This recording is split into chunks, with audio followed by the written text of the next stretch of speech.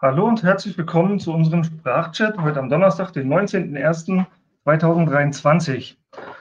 Mit mir zusammen heute moderiert wieder der René. Hallo René. Moin, moin, hallo. Unser Gast heute ist Thoralf. Thoralf arbeitet bei der IF und was er so macht, wer er ist, kann er uns am besten selbst erzählen. Guten Abend. Also, soll ich direkt beginnen? Ja. Ja, bitte. Ja. Also ich beginne mal allgemein mit mir. Ich bin Thoralf Müller. Ich komme aus Norddeutschland, also in der Nähe von Rostock wohne ich zurzeit. Und ja, bin 23 Jahre alt und arbeite jetzt seit zwei Jahren bei der IOTA Foundation. Also ich habe im 1. Januar 2020 hatte ich begonnen. Und ja, davor hatte ich begonnen, Elektrotechnik zu studieren, habe das aber ähm, aus Interessegründen dann eben abgebrochen und bin dann zu Krypto gekommen. Und ja, seitdem beschäftige ich mich auch in der Freizeit sehr viel mit IOTA und Programmieren. Und sonst spiele ich noch Klavier und ja, bin gerne ein bisschen draußen. Aber ja, der größte Teil wird in IOTA reingesteckt. Und da habe ich auch Freude dran. Und ich hatte auch, also ich hatte eben begonnen, Elektrotechnik zu studieren und dann kam ich irgendwann zu Ethereum. Also da hatte ich eben gelesen von einem globalen Computer und das hat sich ganz interessant angehört, aber damals hatte ich halt noch gar keine Ahnung gehabt von Programmieren und allgemein, wie die Technik dahinter eben aussieht. Aber da kam ich dann halt irgendwie dazu. Dann hat man ein paar andere Projekte noch gesehen, dann hat gesehen, man kann dazu allgemein auch, habe ich auch eine Zeit lang gemacht, hat sich nicht unbedingt gelohnt. Aber ja, hat man halt alles mal ausprobiert, was es da gibt. Und dann kam man irgendwann zu IOTA, das wahrscheinlich vielen gegangen ist. Und das hat sich halt schon bei vielen Sachen besser angehört als die anderen Projekte. Also einmal vor allem, dass eben kein Mining gibt, keine Gebühren und skalierbarer und ja, da waren halt viele Sachen, die sich echt gut angehört haben. Und dann habe ich auch 2017 am Ende schön beim Bullenmarkt, also dadurch ist eben allgemein auch mehr Aufmerksamkeit hingekommen. Da bin ich dann eben auch dazu gekommen.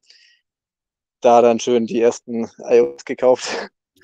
Aber damals auch noch nicht so viel. Also alles kein Problem gewesen. Und dann ähm, hatte ich aber auch eben mir ein paar Sachen da durchgelesen zu IOTA. Und dann hatte ich ein Beispiel gesehen bei, bei GitHub, wie man so eine IOTA-Message senden kann, wo man eben nicht mal Geld braucht. Und man konnte auch, da gab es schon diesen Tangle Visualizer, wo man eben live die, die Transaktion sehen kann. Und da habe ich halt dann das ausführen können bei mir und dann direkt gesehen, dass diese Nachricht eben jetzt in einem Netzwerk ist. Und das fand ich halt schon beeindruckend und ja, echt, echt interessant, weil bisher die Sachen, die ich gekannt habe, die waren halt alle zentralisierte Services, wo du dich eben normalerweise anmelden musst oder so. Und da konnte ich jetzt halt einfach reinspammen. Also viele, viele Nachrichten einfach. Und ja, es gab keinen wirklich, der irgendwas limitiert. Also gibt halt das Proof of Work als Spam, Spam Protection. Aber davon abgesehen ist nur das Protokoll das Limit und eben was die Node-Software und das Internet hergibt. Aber ja, das, das war so die, die erste Sache, wo ich dann auch mehr ins Programmieren reinkam. Und dann gab es in der Community auch ein paar andere. Also einer war vor allem Steppo, ich weiß nicht, ob die noch andere kennen. Mittlerweile ist der nicht mehr so aktiv, aber mit dem habe ich dann eben ein bisschen rumgespielt am Tangle, haben wir eben unsere eigene Tip-Selection ausprobiert, auch so Side-Tangles gebastelt, dass man eben ja, einfach probiert, was, was das Netzwerk kann, was das aushält. Und dann, ja, hat man halt immer mehr ausprobiert. Und dabei habe ich erst wirklich Programmieren gelernt. Also vorher hat mich das nie so groß interessiert, dass ich da viel gemacht hatte. Also wir hatten es in der Schule ein bisschen und in der Uni. Aber an sich, ja, habe ich nie viel mitgemacht. Und dann eben durch dieses Beispiel, dann kam ich erstmal wirklich dazu, mir das genauer anzuschauen. Und dann ja, habe ich halt Stück für Stück immer probiert, ähm, ja, neue, neue Sachen ins IOTA-Netzwerk zu senden, also neue Side-Tangles und damals war auch noch die Bestätigungsrate richtig schlecht, dass man eben oft reattachen musste und sowas. Und deswegen hat man halt dann auch probiert, dass man die, die Tipps so wählt, dass eben die eigene Message oder die eigene Transaktion schneller bestätigt wird als die von anderen oder halt eben allgemein einfach so schnell wie möglich. Und dann ja, hat man dabei halt echt viel gelernt. Also da habe ich mir dann echt viel beigebracht. Und dann ging das halt immer so weiter, dass man immer mehr ausprobiert hat, immer mehr gemacht hat und dann eben auch kleine Projekte schon gestartet. Ich hatte dann auch mal eine Webseite gemacht, wo man eben Transaktionen reattachen und promoten kann. Und das hat echt gut geklappt, weil da habe ich ähm, die, die neuen Transaktionen immer an den Meilenstein ähm, attached, an den letzten. Und die Tip Selection vom Koordinator war halt so gemacht, dass die immer vom Meilenstein startet. Und dadurch hat man halt eine viel höhere Wahrscheinlichkeit gehabt, dass die bestätigt wird. Und man konnte auch ähm, Konflikten aus dem Weg gehen. Damals war es eben noch so, wenn man zwei Transaktionen reattached hat, dann kann eben nur eine bestätigt werden. Und alles, was hinter der anderen ist, das ist dann eben, ja, musste neu gesendet werden und wurde eben nicht confirmed. Was damals halt auch echt schlecht, also echt ein Problem war, weil dann die Confirmation Rate ähm, konnte man eben droppen, wenn man da viel reattached. Aber ähm, ja, das konnte man eben auch nutzen, um Transaktionen dann besser, schneller zu, bestätigt zu bekommen. Und das hat auch gut funktioniert und die, die Seite haben dann auch einige genutzt. Und dann, ja, habe ich auch bei einfach IOTA ähm, mit Sebastian haben wir da paar kleine Sachen gemacht. Da haben wir ein Payment-Modul gebastelt, wo man dann eben bei der Webseite das Magazin kaufen konnte und dann eben mit IOTA bezahlen. Und dann haben wir halt im Hintergrund haben wir dann die IOTA-Sachen gemacht, dass da gecheckt wird, ob Geld reingekommen ist. Und das hat auch geklappt. Und ja, halt einfach viele, viele kleine Projekte gemacht, dabei immer mehr gelernt. Und dann 2019 äh, irgendwann kam Jelle mit dem Identity-Projekt, wollte mhm. er starten, hat da eben Leute gesucht, die, die bei IOTA die Integration mithelfen. Und da hat er dann bei Sebastian und mir angefragt und wir ja, waren erfreut, weil wir beide eben eh schon was machen wollten und auch schon mal beim EDF beworben hatten. Das hatte aber nicht funktioniert. Und so ähm, konnten wir dann eben da bei dem Identity-Projekt am Anfang starten. Und das war auch dann mit Rust, also das ist eben eine Programmiersprache, die relativ neu ist, jetzt langsam immer mehr verbreitet wird und einige sehr interessante Features hat. Also Memory Safety und die ist auch so effizient wie C eigentlich, also wird dann kompiliert, das auf Maschinenebene läuft alles ohne irgendein Memory ähm, Garbage Collection. Und ja, das hatte ich zu der Zeit auch schon ein halbes Jahr vorher, hatte ich da schon mal range rangeschaut, bisschen was gelernt und dann mit dem Projekt eben bin ich da richtig eingestiegen und seitdem ja, will ich eigentlich auch mit keiner anderen Sprache mehr viel machen, weil ich die echt gut finde und mir das Spaß macht. Ja, und dann hatten wir eben bei dem Projekt da gestartet für digitale Identität auf IOTA und da hatte ich hauptsächlich die, den IOTA-Teil gemacht, wie wir eben die Nachrichten ins Tangle reinsenden und dann wieder auslesen können. Und dann ja noch ein paar andere Sachen mit den, mit den Dokumenten, die man dann im Verlauf tracken muss. Mhm. Und ja, danach, das ging vier Monate lang. Dann war das, dann war das fertig. Der also wurde es einmal abgeschlossen, den Teil, den wir machen sollten. Identity-Projekt gibt es natürlich immer noch und wird immer noch weiterentwickelt. Aber ja, für uns war das erstmal das Ende. Aber die IF war ganz zufrieden mit der Arbeit, die wir da gemacht haben. Und dann haben sie uns gefragt, eben, ob wir noch, noch ein anderes Projekt machen wollen oder ob wir nicht gleich bei denen angestellt sein wollen. Und da haben wir beide Ja gesagt, also Sebastian und ich. Und dann, ja, seitdem bin ich da. Und so hat sich das dann ergeben. Und ich bin ja ziemlich glücklich, dass es so alles funktioniert hat, weil ich eben eh den ganzen Tag nur was mit Elder gemacht hatte. Und dann, ja, hat sich sozusagen ein kleiner Traum erfüllt.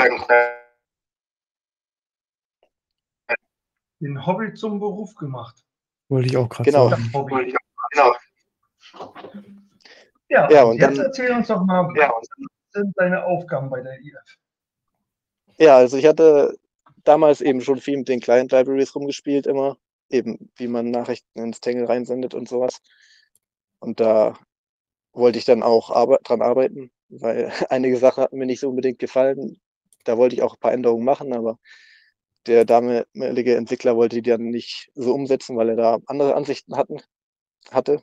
Und dann, ja, hatte ich da eben eine Stelle bekommen mit der IOTA AS Client Library begonnen und hatte da begonnen, dann für Chrysalis das zu aktualisieren. Das war gerade die Zeit. Also da war, war schon Teil gemacht und dann habe ich das übernommen und weitergemacht. Und da war ich ungefähr ein halbes Jahr hauptsächlich damit beschäftigt. Und zur gleichen Zeit hatte Lukas, also der ist mittlerweile nicht mehr bei der IF, die hatte da die Wallet Library Wallet Eyes für Firefly gemacht. Aber der ist dann, ja, der, der, der war da ganz alleine und deswegen sollte ich da eben dann auch mithelfen. Da kam ich dann eben ein bisschen zu Wallet Eyes mit dazu und seitdem ist meine Aufgabe jetzt eben die, die Client Library und die Wallet Library zusammen. Und jetzt von der Wallet Library haben wir auch die CLI Wallet, also die Command Line Wallet, die wir jetzt auch noch mit maintainen, aber die ist nicht so viel Arbeit, weil die eigentlich nur ein Wrapper um die Wallet als Library drum ist. Und da haben wir eben die Client Library im Rust geschrieben. Und dann haben wir aber Bindings zu anderen Sprachen. Jetzt haben wir gerade Java, Python Node.js oder JS Wasm supported. Und bei der Wallet Library genau das gleiche. Wobei wir da jetzt sogar auch noch ähm, Swift hinzufügen. Und theoretisch, wenn man sich ein bisschen rein, reinliest, dann kann man auch relativ einfach beginnen, ein Binding für eine neue Sprache zu beginnen. Mhm. Aber ja, aktuell unterstützen wir keinen anderen direkt von unserer Seite aus. Und ich bin jetzt aber da nicht alleine dran, sondern bin im Team von Thibaut und da sind dann noch Samuel und Brod. Also wir sind jetzt zu viert. Wir arbeiten an den Libraries zusammen und kümmern uns eben um alle, alle Sachen, die da nötig sind. Das, also ich kann mal eben nochmal erklären, was die Client Library ist, für Mhm. die Leute, die sich da nicht so auskennen. Mach das. Wir haben eben einmal die, die Node-Software, was Hornet gerade ist, die eben das IOTA-Protokoll laufen lässt. Und dann hat die eine API, wo man eben drauf zugreifen kann, wenn man irgendwelche Daten abfragen will. Eben wie viel, wie viel Guthaben ist auf meiner Adresse zum Beispiel. Oder gib mir den letzten, letzten Meilenstein oder irgendeinen Block. Und dann kann man eben natürlich auch selbst was senden. Also man kann dann eben eine Transaktion dahin schicken und dann wird die beim Tangle hinzugefügt. Und ja, diese, diese Schnittstelle, dass die eben einfacher zu verwenden ist für irgendwelche Entwickler, dafür ist die Client Library da ist. Die kann dann eben ein paar Daten anfragen. Dann kann man sich da die Transaktion zusammenbauen lassen. Das sucht dann automatisch die Inputs oder man kann die auch selbst mitgeben, wenn man möchte. Und man muss halt nur noch angeben, eigentlich, wohin man Geld senden will. Oder IOTA oder Schema oder was auch immer. Und dann findet das mit den Adressen, die man hat, eben von alleine dann die Inputs, die nötig sind, macht die Transaktion, macht das Proof of Work, sendet das zum Node, guckt, dass es bestätigt wird. Und ja, die, diese Funktionalität, die eben so im Hintergrund läuft, wenn man IOTA nutzen will, die, die kann man mit der Client Library machen. Und die Wallet Library, die ist dann sozusagen ein Wrapper um die Client Library. Also die nutzt die Client Library, aber die hat dann ähm, einen eigenen State. Also da wird alles gespeichert, was man hat, dass man nicht jedes Mal von Null beginnt. Also man hat zum Beispiel einen Account, äh, eine Adresse, dann wird die in der Datenbank gespeichert. Und bei der Client Library, da kann man eine Adresse generieren, aber die wird nicht automatisch irgendwo gespeichert. Das heißt, das nächste Mal, wenn man es verwenden will, muss man die Adresse wieder neu generieren oder man hat die, man muss die halt selbst irgendwo speichern. Und die Wallet Library, die nimmt einem halt viel von solcher Arbeit ab. Die speichert alles für einen. Die guckt automatisch eben, ob die Transaktionen, die man gesendet hat, ob die noch bestätigt ähm, werden müssen oder ob die schon bestätigt sind. Und ja, die speichert eben alle Transaktionen auch in der Datenbank, dass man da später wieder drauf zugreifen kann. Also das ist an sich so grob die, die Sachen. Und bei der Wallet Library ist es auch noch so, dass die in Firefly benutzt wird im Backend aktuell. Also alles, was ihr im, im Firefly macht, nutzt im Hintergrund die, die Wallet Library, um, um eben Transaktionen zu senden und zu empfangen.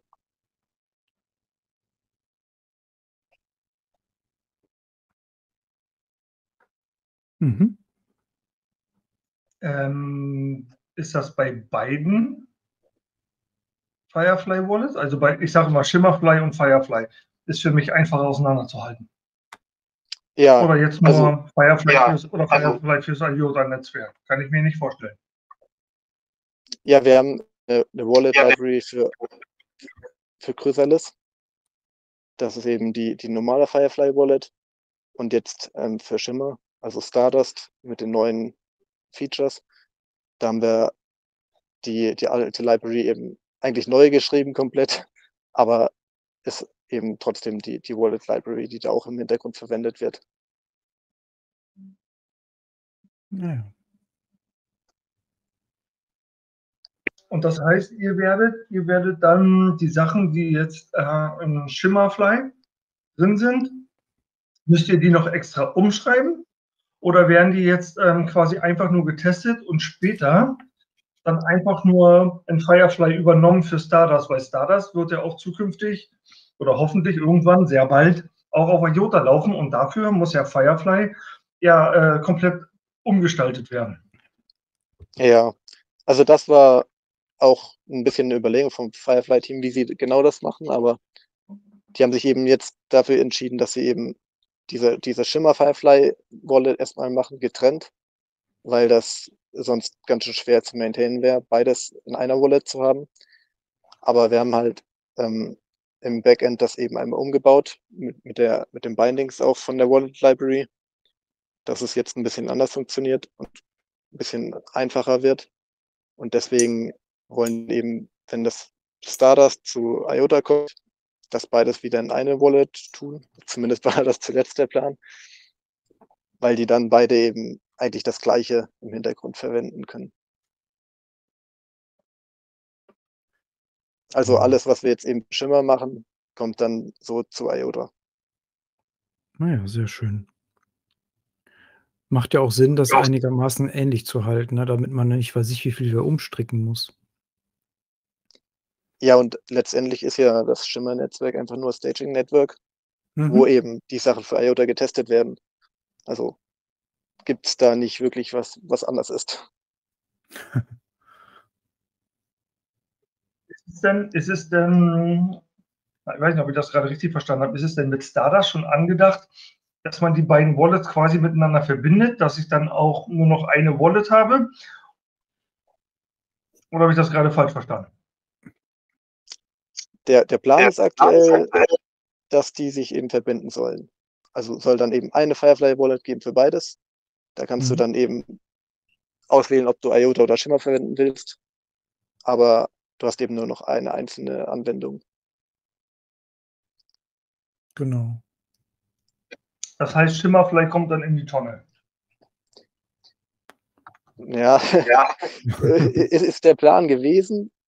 Also war, war zumindest erstmal so angedacht, dass eben nur noch eine Wallet eben gibt.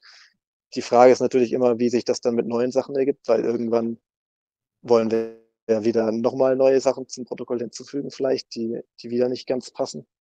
Mhm. Und dann will man da vielleicht wieder eine ja, neue Version irgendwie wie testen, ohne, ohne alles wegzuschmeißen und neu zu machen jedes Mal. Vielleicht eben bleibt es dann irgendwie als, als Test-Wallet für die no- neuere Version dann immer eben separat oder sowas. So wie eben das, das Shimmer-Netzwerk immer das Staging für IOTA ist. Aber Ja. ich weiß es nicht genau, was sie da vorhaben. Weil das ist eben eigentlich nicht mein Bereich. Ich mache einfach im Hintergrund, dass es funktioniert Mhm. was die, was die dann wirklich vorne außenrum dran bauen, das liegt nicht in meiner Hand. Also kommt dann so einer wie jetzt zum Beispiel das ist jetzt das fällt mir so in dem Zusammenhang ein, nicht, dass ich das jetzt so extrem wichtig finde im Moment noch, die NFTs, die jetzt grade eingebunden werden. Also kommt jetzt dann das Team von der wie jetzt Borsti sagt, der Shimmerfly, kommt dann zu dir und sagt: „Kannst du das nicht auch noch mit einbinden?“ Oder wie rum geht das? Ja, also eigentlich ist es so, dass wir mittlerweile alles unterstützen an Protokollsachen, die man machen Mhm. kann. Nur oft ist es schon noch so, dass das Firefly-Team dann noch mal eigene APIs haben wollen, also oder dass sie eben 'n bisschen andere Vorstellungen haben, wie das für die aussieht, als wenn sie das benutzen. Und das Letzte war, ähm, für Governance, also Voting, was als Nächstes kommt. Da haben sie Mhm. Bei uns angefragt, dass wir da die Funktionalität hinzufügen. Sie hätten das theoretisch auch von ihrer Seite vorher machen können, aber das wäre für die halt recht umständlich gewesen, weil sie dann auf ihrer Seite noch mal selbst wieder alles tracken müssen, alles speichern, Mhm. was was die Wallet Library eigentlich dann einfacher und besser machen kann.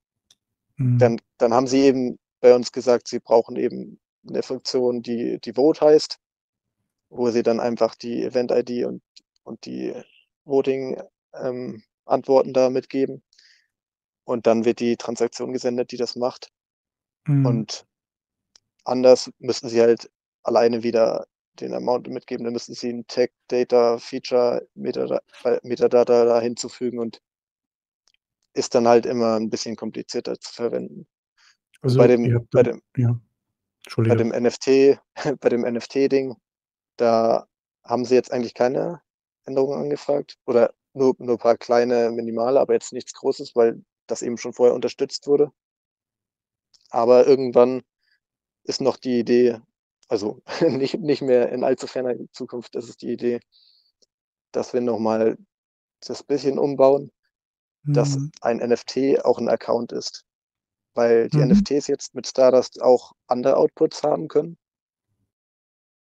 Das Mhm. wird jetzt nicht so stark genutzt, aber es gibt eben dann für einen NFT-Output eine NFT-Adresse und die kann dann auch wieder andere Outputs haben. Und Mhm. aktuell wird das alles unter der der ED 24 25519 Adresse getrackt und in einem Account. Und dann wird das aber mit dem Ownership manchmal bisschen kompliziert, weil ein NFT kann zum Beispiel auch wieder 'n anderes NFT haben und das andere NFT Mhm. kann auch noch 'n A Alias-Output haben und der kann wieder 'n normalen Basic-Output haben. Also, Mhm. man kann so 'n rekursives Ownership-Verhältnis haben, was dann recht kompliziert wird zu verstehen, weil am Ende in der Wallet, wenn du alles auf einmal siehst, ein NFT und das sendest und das Mhm. NFT hat aber noch 10 andere Outputs eigentlich dabei, dann Mhm. verschwinden auf einmal 11 Outputs aus deiner Wallet und du weißt nicht unbedingt warum. Und deswegen überlegen wir das so umzubauen, dass du eben ein NFT als Wallet siehst. Dann kannst du Ja. eben das NFT öffnen. Da hast du deine Wallet und dem NFT siehst du dann die Outputs, die dem NFT gehören. Also, äh, quasi, wenn man das übersetzt, ein Output wäre dann zum Beispiel, dass da dann 20 Shimmer drin liegen noch, ne? Genau. Also, dann hast du letztendlich, ähm hast du dann das wird jetzt einige wieder freuen in der Community, hast du dann zum Beispiel ein Ä 'n F-NFT, wie es so schön heißt, ne, also ein Finanz-NFT, wo drin du selber noch mal 'ne separate Unterwallet für deine eigene Wallet hast. So kann man das dann so einfacher formulieren wahrscheinlich. Ja, es ist natürlich die Frage, wie sinnvoll das in dem Fall ist für Finanzen, Mhm. aber es gab irgendwelche Ideen mit irgendwelchen Game Assets, die zu dem NFT gehören oder so. Die Mhm. die werden dann halt anders getrackt. Muss man sehen, wie sich das entwickelt, aber das ist halt eine Sache jetzt, die eben zum Beispiel auch vom Firefly-Team angefragt wurde, ob wir das nicht ändern können, dass man das eben von der Wallet Library aus einfacher sehen kann, diese diese Ownership-Verhältnisse. Also, bist du ja oder euer Team, ihr 4 ja schon irgendwo 'ne Schnittstelle zwischen jetzt so was wie Firefly, also etwas für den End-User und eigentlich auch, ähm, der Entwicklungsabteilung. Also, ihr müsst ja eigentlich mit beiden Seiten immer Rücksprache halten, wenn ich das richtig verstehe, ne? Ja, also wir sind ja auch Teil der Entwicklung, der Entwicklungsabteilung. Ne, ich meine jetzt entschuldige, ich meine jetzt vom Core-Protokoll, ne? Das meine ich jetzt einfach, ne? Ja, also beim beim Core-Protokoll haben wir jetzt keine großen Anforderungen, aber an die API schon. Mhm. Wir müssen ja mit den, mit den Sachen, die wir von dem Node bekommen, irgendwie arbeiten können. Und da haben wir, als es geplant wurde, natürlich auch ein paar Sachen angefragt, ob man die vielleicht ändern kann oder eben ausprobiert und geguckt, ob das überhaupt so klappt. Zum Beispiel eine Änderung war, dass wir eben bei den Outputs nicht nur die Outputs selbst speichern so, und nicht nur bei den Metadaten den, den Meilenstein-Index, der das referenziert hat, Mhm. sondern auch den Timestamp.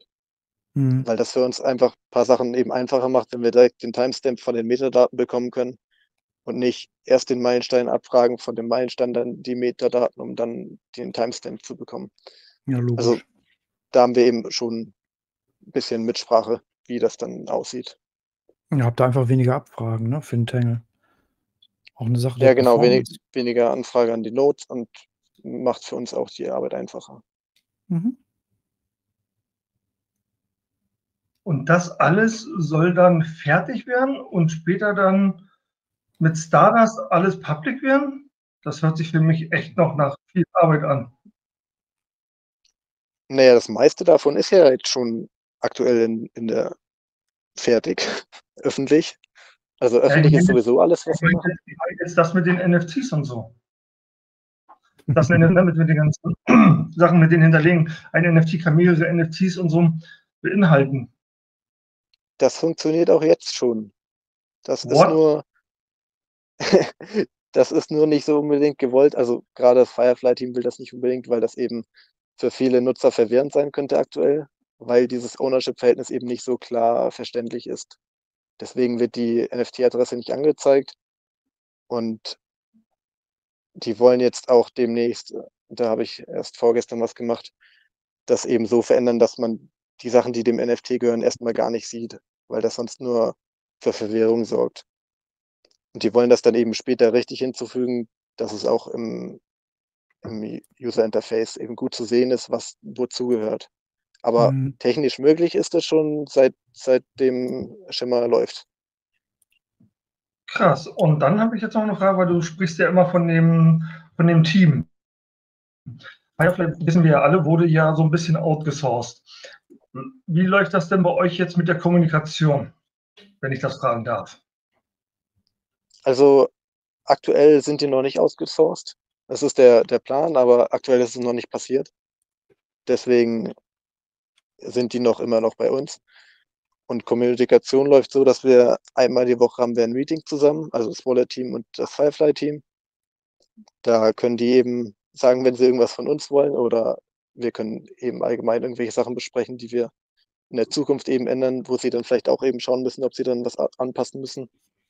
Da haben wir einmal die Woche 'n Meeting und dann sonst schreiben wir einfach, ähm, beim Chat ab und zu über irgendwelche Sachen oder erstellen auch bei GitHub Issues.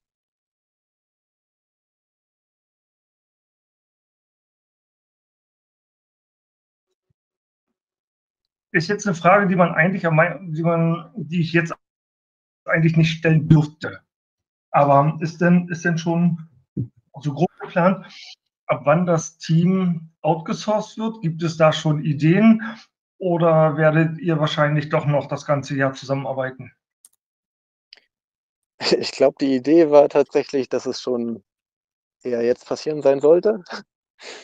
Aber ich weiß nicht, was da genauer im Hintergrund abläuft. Also, ich weiß da eigentlich genauso Mhm. viel wie die Community, weil ich mich da nicht mit viel beschäftige. Also, ich habe die Leute jetzt auch nicht viel genau gefragt, was genau da der Status ist.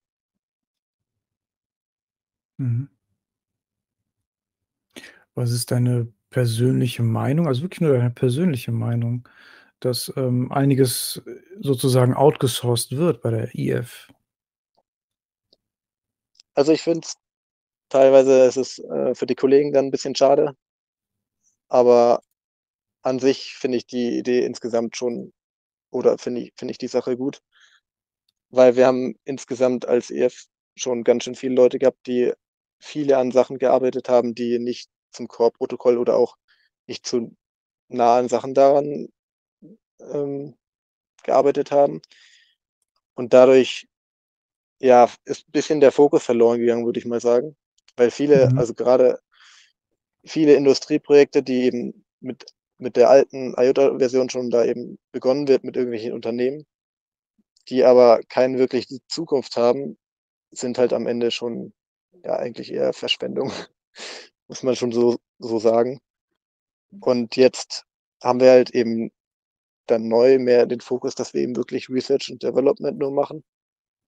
Und ich glaube, das hilft uns dann als Organisation eben wirklich besser strukturiert zu sein, auch weil wir eben nicht mehr zehn verschiedene Bereiche machen, wo wir irgendwo irgendwas eben Leute haben. Ich meine, die machen natürlich auch alle ordentliche Arbeit, aber wenn wir halt ein Design-Team haben von fünf Leuten oder so, dann ist das jetzt nicht unbedingt förderlich für das Kernprotokoll, was die Hauptaufgabe der IOTA-Stiftung sein sollte. Mhm. Und ja, deswegen finde ich es eben teilweise eben schade, aber ich denke mal, langfristig ist es schon hm, der richtige Weg. Ja, ich frage dich, weil wir jetzt ja natürlich hier aus der Community kommen und da immer wieder natürlich dann auch, ähm, kritische Fragen aufkamen, ne, so nach dem Motto: „Äh, die werden jetzt alle outgesourced, weil, ne nur weil das Geld halt jetzt so knapp wird.“ Ähm, ja, ne, also, äh, und viele Stimmen sagen auch dann halt wie du, es ist einfach auch vernünftig, ne, um sich wieder, wie du jetzt auch sagst, einfach aufs Kerngeschäft zu konzentrieren und eben dann auch in dem Zuge natürlich dann auf Funds zu sparen. Klar. Ja. Ja, also also das mit dem Geld ist natürlich eine Sache, die die ein ein Grund dafür ist auf jeden Fall. Mhm. Aber aber ich denke mal, dadurch, ähm, hat man auch paar Sachen noch mal überdacht und ja. Man man hat sich dann wieder ein bisschen mehr fokussiert, weil dadurch also Mhm. ist nicht nur eine Sache, sondern macht ergibt auch insgesamt mehr Sinn. Definitiv, finde ich auch, klar. Ja, ich könnte jetzt an der Stelle wieder erwähnen, welches Gespräch ich mit Holger vor über ein Jahr hatte, aber die Community kennt das schon und daher lasse ich es. Aber du selber, um jetzt, um jetzt wirklich mal, weil das sprechen wir nicht ohne Grund an, weil das zurzeit nämlich ein heiß diskutiertes Thema ist innerhalb der Community mit dem Geld. Mhm. Und du musst jetzt darauf auch nicht großartig antworten, aber siehst du denn deinen Arbeitsplatz in den nächsten zwölf Monaten gefährdet? Ne, da sehe ich eigentlich keine Gefahr. Ich auch nicht. Ich sehe ich sehe auch überhaupt ich sehe auch überhaupt keine Gefahr bei dem Ganzen. Ich finde Mhm. diese diese Diskussion teilweise ja überflüssig. Aber nur, das ist nur meine persönliche Meinung hier nur mal so am Rande dazu. Ja, ander andererseits kann man's auch wieder verstehen, wie du auch sagst, ganz kurz nur noch, Borsti. Äh, ne, es gibt natürlich immer Ängste, vor allen Dingen, wenn Leute natürlich vielleicht sogar überinvestiert sind. Dann kommen erst recht Ängste auf, ne, nach dem Motto: „Wo bleibt mein Lambo?“ Ne? Ja, Risikomanagement bedeutet, ich habe ich habe ein Risikomanagement, das eigentlich konkret nur für mich selbst gilt und nach meinen Parametern muss ich entscheiden. Und wenn ich nachts nicht schlafen kann, weil ich Angst habe, meine Rechnung nicht mehr zu bezahlen, dann muss ich die dementsprechenden Konsequenzen tragen. Genau. Ja, man Also, sollte nicht mehr investieren, als man bereit ist zu verlieren. Ja, Also, wenn man genau, sich genau daran so. hält, dann dann sollte man keine Probleme haben. Ja, genau. Es bringt es bringt auch nichts, wenn du irgendjemanden fragst: „Was machst du? Wie machst du das?“ Denn letzten Endes bist du nur alleine für dich verantwortlich und kannst nur für dich selber abschätzen, welches Risiko du eingehst. Und mit Risiko kann man kann man auch ganz einfach Risiko muss man nicht nur mit Geld sehen, kann man auch ganz einfach sehen, der eine springt vom 1 m Turm, der andere springt von 'ner Klippe. Das Mhm. ist auch 'n Risiko, was jeder dann entsprechend bereit ist einzugehen. Gut, um jetzt mal wieder zurückzukommen zu IOTA. Das war halt nur mal so wichtig, weil das auch wirklich so durch die Community geht, dass wir da mal so das mal kurz so anreißen. Genau. Jetzt erklär doch mal der Community, an welcher Stelle eigentlich ursprünglich deine Arbeit beginnt, weil man hört ja immer nur von Hans, dass er am Coordicate arbeitet und das damit die da alles zurechtbauen. Seid ihr davon eigentlich unabhängig oder ist eure Arbeit dementsprechend auch wichtig und wenn sich was bei Hans ändert, ob sich dann auch was bei euch ändert? Also, Coordicate ist bisher ja noch immer ein ein ein eigenes Netzwerk, die noch keine große Client und Wallet-Sachen haben. Da geht es ja noch viel mehr um das Core-Protokoll, was erstmal getestet werden muss. Und deswegen haben wir da eigentlich nicht direkt jetzt irgendwie was miteinander zu tun. Es wird am Ende nur irgendwann, wenn es dann eben mal wirklich so weit ist, dass dann auf Schimmer-Netzwerk kommt, dann müssen wir natürlich auch schauen, ob wir eben bei der, bei der Client oder Wallet Library was anpassen müssen. Also das werden wir sicher irgendwie machen müssen. Die Frage ist, wie viel das sein wird am Ende. Und dann, ja, wenn das soweit ist, dann müssen wir halt schauen, was wir da anpassen müssen. Aber eigentlich sollte es am Ende nicht so viel sein. Mhm. Also beginnt quasi, ihr macht jetzt erstmal eure Arbeit, wie ihr sie so geplant habt. Eure, ihr habt ja wahrscheinlich eine interne ETA und arbeitet die ab, was ihr alles abarbeiten müsst und passt euch dann später einfach nur dem an, was euch quasi Hand und Muxer vor die Füße schmeißt um es jetzt mal salopp auszudrücken.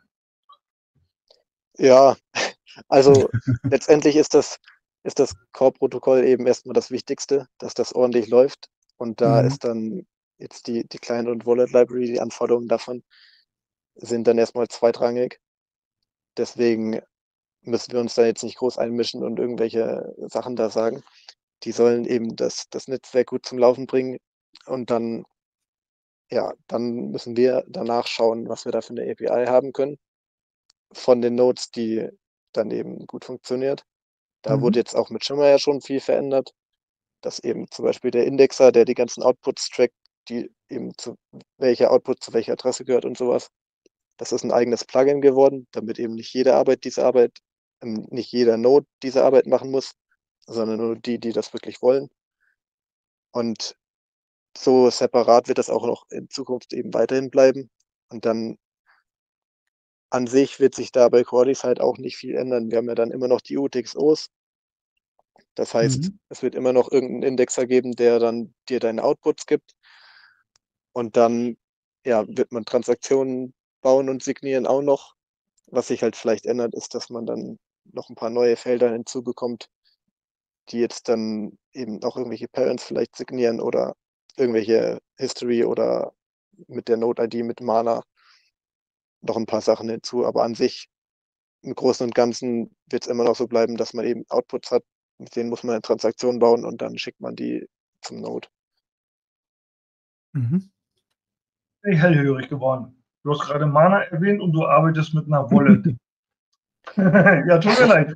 Da, da, bin ich bei, bei Mana, weil, ja, weil man Mana die meisten wissen das hier. Ich hatte früher sogar überlegt gehabt, mit Mana ein Geschäft zu machen, auch zu machen, also ein Geschäftsmodell. Und Mana ist so ein bisschen schon immer ein kleines heimliches Schätzchen, wenn ich immer so sagen. Naja, Mana wirst du ja nicht so in der Wallet haben, so wie, wie die normalen Token.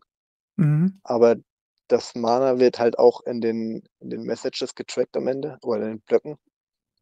Und da wird es dann eben ein Feld geben, wo man das trackt. Ich glaube, ich bin mir da jetzt auch nicht mehr ganz sicher, aber das letzte Mal, als ich eben bei Goshimmer da mal reingeschaut habe, da ist irgendwas dann in den Blöcken drin, ein neues Feld, was dann dafür auch wichtig ist. Und dann muss das eben einfach ein Teil vom Block sein. Also jetzt haben wir zum Beispiel auch eben die, die Parent Message IDs einfach nur und Inputs Commitment, das ist ein Hash von den Inputs, damit man weiß, dass die richtig sind. Mhm. Und ich glaube, da gibt es eben bei bei GoShimmer dann jetzt, bei der neuen Version, da gibt es dann noch ein paar Felder, die so ähnlich die sind. Die müssen halt auch in einem Block sein, damit der valide ist und damit du den senden kannst. Aber das gehört dir dann trotzdem nicht so normal zu versenden. Schade. Ich habe gedacht, dass ich eventuell Mana sogar noch über meine Wallet ja quasi mit verkaufen oder was auch immer machen kann, einsehen kann oder wie auch immer. Ich dachte, dass ich da mhm. wenigstens angezeigt bekomme, dass ich so und so viel Token halte, gerade, gerade, ne, ja, so, so, so ist ja meine Hoffnung, dass ich mhm. dann in meiner Wallet angezeigt bekomme, ich halte die so und so lange und habe so und so viel Mana generiert, dass ich die Token dann auch einfach kostenlos vieles immer noch über den Tangle dann schicken kann. Ja, das kann ja auch noch immer noch sein. Nur, was ich eben meinte, ja, dass du eben Mana nicht, nicht als Token so hast, dass du Mana versenden kannst einfach. Achso, so meinst du das ja, ja. Ja, aber wie gesagt, ja, das wäre das wäre in der Wallet dann 'ne schöne Anzeige, wenn ich weiß: „Oh, so und so viel Mana habe ich grade, ich kann so und so viel Transaktionen jetzt durchführen.“ Mhm. Wäre nicht schlecht, oder? Das sollte eigentlich auch machbar sein, würde ich jetzt mal grob sagen. So, Aber schreibt also, ja. schreibt mal mit: „Morgen im Gespräch. Wir müssen Mana in Firefly integrieren, jedenfalls mit 'ner Anzeige.“ Ja, wäre schön. Ist hi stand stand bei mir bei mir, äh, in der Abteilung Wunschliste. Ja, also, bei Firefly, was die da anzeigen oder nicht, das liegt nicht in meiner Hand, aber grundsätzlich von meinem Verständnis bisher von GoShimmer eben, wie das da funktioniert, sollte das dann machbar sein, dass man eben für sich selbst guckt, was einem gehört, wie viel man dann da aktuell hat. Das müsste man ja eben von der Node abfragen können und dann kann man das auch anzeigen. Aber muss man sehen Ja, wie genau das macht dann gemacht wird. macht ja auch ohne Anzeige nicht äh, nicht viel Sinn. Also, Mana muss man ja irgendwo irgendwie abschätzen können. Ne, nicht so nach dem Motto: „Es wird nicht angezeigt, aber ich kann auch nichts senden und ich weiß nicht, wieso ich nichts senden kann“, ne? Also, man muss ja irgendwo 'n Feedback haben irgendwie in 'nem Wallet. Ja, aber es gibt ja auch noch die Sache, dass man eben vielleicht andere Nodes benutzen kann, Mhm. die eben das Mana providen. Und in dem Fall wäre es ja recht egal, wie viel man selbst hat oder wie viel irgendjemand anders hat. Solange du einfach was senden kannst, dann brauchst du nicht unbedingt 'ne Anzeige. Aber wenn man natürlich sein eigenes Mana verwenden will, dann wäre es auch gut, wenn man das sieht. Genau. Ja, deswegen wollte ich das nur mal angesprochen haben, weil du hast Mana erwähnt und dann brauche ich das später nicht noch ansprechen, weil das ist wirklich wir hatten das wir hatten nämlich jemanden, der möchte 'n Bezahlsystem der möchte 'n Be 'n Bezahlsystem über den Tangle schieben. Den hatten wir letzte Woche zu Gast. Und da habe ich ihn auch gefragt, wie er mit Mana und so umgehen möchte. Und da kam nicht sehr viel. Und deshalb, weil Mana auch mit eines der wichtigsten Sachen ist bei IOTA, dachte ich so, weil du's erwähnt hast, spreche ich's direkt mal an, weil klar, natürlich ist es für uns alle in der Community ist es 'n Muss, aber ist ja auch die Frage, ob ihr das so weit aufm Schirm habt, ob das für euch überhaupt wichtig und interessant ist. Und daher Mhm. dachte ich, ich spreche es mal direkt an. Ja, also, wie gesagt, aktuell machen wir mit GoShimmer noch nichts, deswegen haben wir damit nicht wirklich was zu tun. Mhm. Und unsere Pläne aktuell sind eben alle noch auf Stardust, äh, fokussiert, weil wir da noch viele Features einbauen können, eben die noch nicht unbedingt so benutzt werden aktuell. Da kann man eben noch vieles vereinfachen, aber ja, mit Mana, das wird irgendwann kommen, aber da haben wir jetzt aktuell noch gar nichts geplant bei uns und, ja, machen auch noch Mhm. nichts. Ja, ja, klar. Wenn du jetzt sagst wegen Stardust, meinst du denn damit, dass ihr das dann quasi erst mal denn in Shimmerfly erst mal quasi veröffentlicht oder sprichst du einfach oder sprichst du bei Stardust von dem, was auf IOTA kommen soll? Da muss man ja immer 'n bisschen differenzieren. Also, Stardust, ähm, nennt sich das Protokoll-Upgrade, was jetzt auf Shimmer läuft. Eben das mit den neuen Output-Typen, wo du NFTs, Alias-Outputs, Foundries hast, wo du Native Tokens hast, wo du diese neue Bytecos hast mit dem Storage Deposit. Das alles Mhm. ist das Stardust-Protokoll sozusagen. Also, ist immer noch IOTA-Protokoll, aber Stardust nennt sich halt so dieser dieser Abschnitt von IOTA. Davor hatten wir ja Chrysalis gehabt. Und Stardust läuft halt aktuell auf Shimmer und das kommt dann aber eben dann zu IOTA später. Und Qualyside oder IOTA 2.0, das wird dann wieder was Neues sein. Ja, COO-less quasi, ne? Qualyside. Ähm, Boss, ich habe noch eine andere Frage. Ähm, ähm, so weit durch da? Ja, ich habe keine Nachfrage. Ich warte eigentlich darauf, dass du eine stellst. Ja, ja, genau. Äh, weil ich habe ja auch noch 'ne ich weiß nicht jetzt, ob du aber, ähm, du hast ja klar, hast eben gesagt, du bist für Libraries zuständig und so weiter und so fort. Aber ich weiß nicht, ob alle in der Community eigentlich da drüber, ähm, informiert sind, wie wichtig oder manche auch denken, vielleicht unwichtig Libraries sind. Also, äh, die Frage wäre eigentlich nämlich, ähm wenn ich jetzt zum Beispiel irgendwas auf IOTA programmieren wollte und es gäbe keine Libraries Ähm, wäre ja prinzipiell natürlich möglich, ne? Aber aus deiner Sicht, ähm, was wozu sind Libraries im Kern gut? Sie machen es einfach einfacher. Mhm. Also, es gibt ja die die Node API, wo man eben auch ohne irgend 'ne Library die ansprechen kann mit ganz normalen HTTP-Anfragen. Mhm. Da muss man dann eben selbst die ganzen Typen muss man sich selbst irgendwie zusammenbasteln und dann, ja, verarbeiten. Und das ist dann, ja, teilweise schon recht schwer. Vor allem, was, glaube ich, eben der schwerste Teil jetzt ist, ist die Input Selection, wenn man eben selbst Transaktionen senden will. Dann muss man die Outputs einmal bekommen, also Mhm. eben alles, was zu deiner Adresse gehört. Und dann musst du die die richtigen davon rausfiltern, weil du vielleicht nicht alle in der Transaktion brauchst, sondern nur 1 oder 2 davon. Mhm. Dann musst du die Transaktion signieren und dann, ja, eben in einen Block tun, der gültige Parents hat oder ja, oder dem Node direkt senden. Oder also, wenn du halt Local Proof of Work machen willst, dass eben das Proof of Work bei dir gemacht wird auf deinem Gerät, dann muss das auch noch gemacht werden und dann zur Node gesendet. Und wenn man keine Client Library hat, dann muss man alle diese Dinge eben sich selbst irgendwie zusammenbauen aus aus den Informationen, die man von der Node bekommt. Mhm. Aber das ist dann schon ganz schön kompliziert, je nachdem, was für 'ne Sache man machen will. Es gibt sehr einfache Sachen, zum Beispiel nur den Status von der Node, also N Node Health zu überprüfen.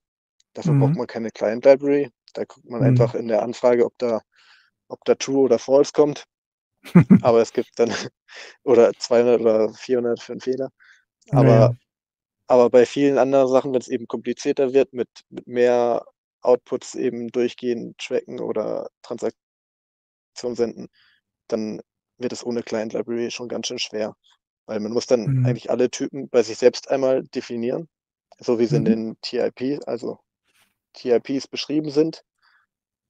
Und da haben wir eben dann den Block, dann haben wir in dem Block die die Parent Message IDs ne, Block IDs mittlerweile. Dann haben wir die Transaktionen ne, einmal allgemein die Payloads und in dem es gibt eben unterschiedliche Payloads. Da gibt's dann Tech Data Payload, wo man nur Daten senden kann. Dann gibt's das Mhm. Transaktions-Payload. Und für alle diese Dinge gibt's dann eigene Typen. Und zum Serialisieren muss man dann eben auch eben dem dem genauen Code folgen oder welche welche Hash-Funktion man verwenden muss, um Mhm. Sachen richtig zu hashen, damit die am Ende auch stimmen.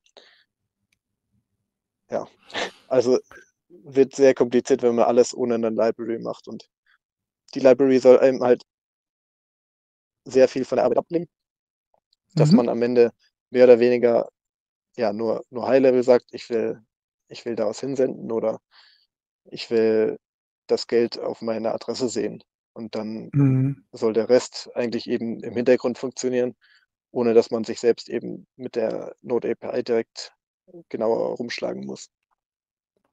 Genau, also dumm gesagt, ihr ihr macht ein also jetzt ganz platt gesagt, ihr macht 'n Visual Basic da draus. Ne, dass es einfach einfach zu verstehen ist, wie ich auch so 'ne Node anspreche und es auch einfach dann, ähm, hm, simpler zu implementieren ist. Ja, also einmal Ne? das und es gibt natürlich immer noch extra Funktionalitäten außen rum, die jetzt nicht direkt die Node ansprechen, aber die für die Nutzung viel besser sind. Also, zum Mhm. Beispiel die Adressen, die muss man ja auch irgendwie generieren erst mal, was jetzt nicht von der Node gemacht wird, weil man möchte ja nicht seinen Private Key zur Node schicken. Mhm. Aber der Teil ist Nicht? eben der Teil ist eben auch noch ein Teil von den Client Libraries oder wenn man Ledger Nano hat, das kann man Mhm. jetzt auch mit der Client Library eben ansprechen, den Ledger Nano, Ah. dass der einem Adressen generiert. Schön. Und das haben wir das haben wir jetzt auch, äh, für die Client Libraries und für die Wallet Libraries äh, eben so gemacht, dass man jetzt Stronghold, Ledger Nano oder einfach in Memory da die Adressen generieren kann oder Transaktionen signieren kann. Mhm. Das war vorher auch noch nicht bei allen möglich, aber jetzt kann man das eben mit allen Libraries direkt machen. Mhm. Ähm, Ah, ich ja. jetzt mal eine Frage zum Verständnis für die Community. Warum braucht ihr eigentlich so verdammt lange, wenn man jetzt irgendwelche ja, ja, Moment, äh, kommt, Moment, nicht, nicht gleich lachen. Warum braucht ihr verdammt lange? Denn wenn irgendein Projekt auf Ethereum startet, dann haben die solche Sachen immer alle ganz schnell fertig. Justin Sun ist schon länger, länger fertig, ich weiß nicht. Naja, hat ja einen Grund, warum ich das frage. Ja, klar. Wa warum man braucht man bei welchen Sachen lange? Also wer Zum Beispiel mit dem, mit dem Herstellen so einer, so einer Wallet. Warum braucht ihr so unheimlich lange dafür? Okay, ich Also- kläre dich auf. Du fühlst, dich gerade ein bisschen verwirrt. Okay, weil ich, ich, ich hätte jetzt eigentlich gerne von dir gehört, dass IOTA ein komplett neues Protokoll ist und dass einfach die ganze Entwicklung und das ganze Testen einfach unheimlich lange dauert. So in der Richtung habe ich gedacht, du springst da sofort mit auf. Ja, also ich, ich war mir eben nicht genau sicher, mit, mit welchem Teil du meinst, aber es stimmt schon, dass, dass eben wir alles bei uns selbst neu machen müssen und nicht wirklich bei anderen Projekten was übernehmen können von denen. Also es gibt tatsächlich eine Library von Ethereum, die wir, glaube ich, bei uns verwenden. Die ist für die Native Tokens, für den Amount zuständig. Also da gibt es eben den U205, nee, 256 Typen für sehr große Zahlen, weil die Native Tokens eben auch ein paar Trilliarden oder was weiß ich für eine Zahl eben haben können am Supply. Und den muss man dann eben von Hex zu den Zahlen umwandeln können. Mhm. Und in Ethereum, da haben sie das eben auch Mhm. für, für die E ERC20-Tokens, glaube ich, oder eben allgemein Genau. gibt es eben eine Library. Und die haben wir dann auch benutzt, weil die eben genau das macht, was wir brauchen. Und dann kann man die natürlich verwenden. Aber das ist e- eben nur ein kleiner Teil und die ganzen ja, Datenstrukturen, die wir irgendwo verwenden, die müssen wir eben alle neu machen, weil es die nicht bei irgendeiner Blockchain schon gibt. Also auch um das mal zu unterstützen. Also wir, wir sagen manchmal natürlich äh, Noob, no, Noob Questions, also wirklich äh, blö- blöde Questions oder auch so diese FAT-Questions, die geben wir natürlich dann gerne weiter, äh, obwohl wir natürlich die Antwort wissen. Aber es ist immer inter interessant natürlich, das auch von dir dann zu hören, weil du ja viel stärker natürlich auch bei der EF involviert bist. Von uns haben die das schon oft gehört, also die Community, ne? dass halt ähm, IOTA kein Copy-Paste ist, wie es jetzt zum Beispiel Justin Sun gemacht hat. Also ich meine, Tron ist ja Ethereum, hat ein bisschen umgebaut und mehr ist es nicht. Ne? Ja, ich, ich glaube, was bei uns auch noch mehr ist, IOTA ist nicht eigentlich ein eigenes Projekt. Mittlerweile sind wir eigentlich dann beim, beim dritten neuen IOTA, weil IOTA 1.0, das war ja alles mit Ternary und so. Das wurde ja eigentlich komplett ja, durch Chrysalis ersetzt. Also ein, sei das war ein ko komplettes Neu Neuschreiben vom Protokoll eigentlich. Mhm. Von der Node-Software, von, von Client Libraries wurde eben alles neu gemacht. Und jetzt mit Stardust wurde auch wieder so viel verändert, dass Mhm. es eigentlich auch schon wieder was Neues ist. Und von Protokollseite wird eben Qualyside IOTA 2.0 wird dann auch wieder was Neues sein, weil irgendwie auch wieder alles komplett neu gemacht wird. Also ein paar, paar Typen werden vielleicht eben bleiben, aber an sich von der Node-Software, das ist eben eigentlich was komplett Neues. Gerade eben, weil es dann eben nicht mehr alles auf den Koordinator drauf zugreifen kann, der vieles vereinfacht hat, Mhm. sondern dann eben natürlich dezentral eben eig- eigenständig laufen muss, was eben auch wieder eine komplette Veränderung ist. Und deswegen haben wir dann eben ja IOTA mehrmals neu, neu komplett neu machen müssen. Ja, und der erste Sprung, der war, glaube ich, der größte, beziehungsweise jetzt der, der bis, bis hin zu Stardust. Äh, Weil äh, ich, du, du sagst es selber, du hast selber eine Reattach-Seite programmiert. Ich kenne die auch noch von dir früher. Ähm, das war ja, es war ja auch teilweise Hölle einfach. Einfach die Tip-Selection, die war ja wirklich für den Arsch. Also, ja.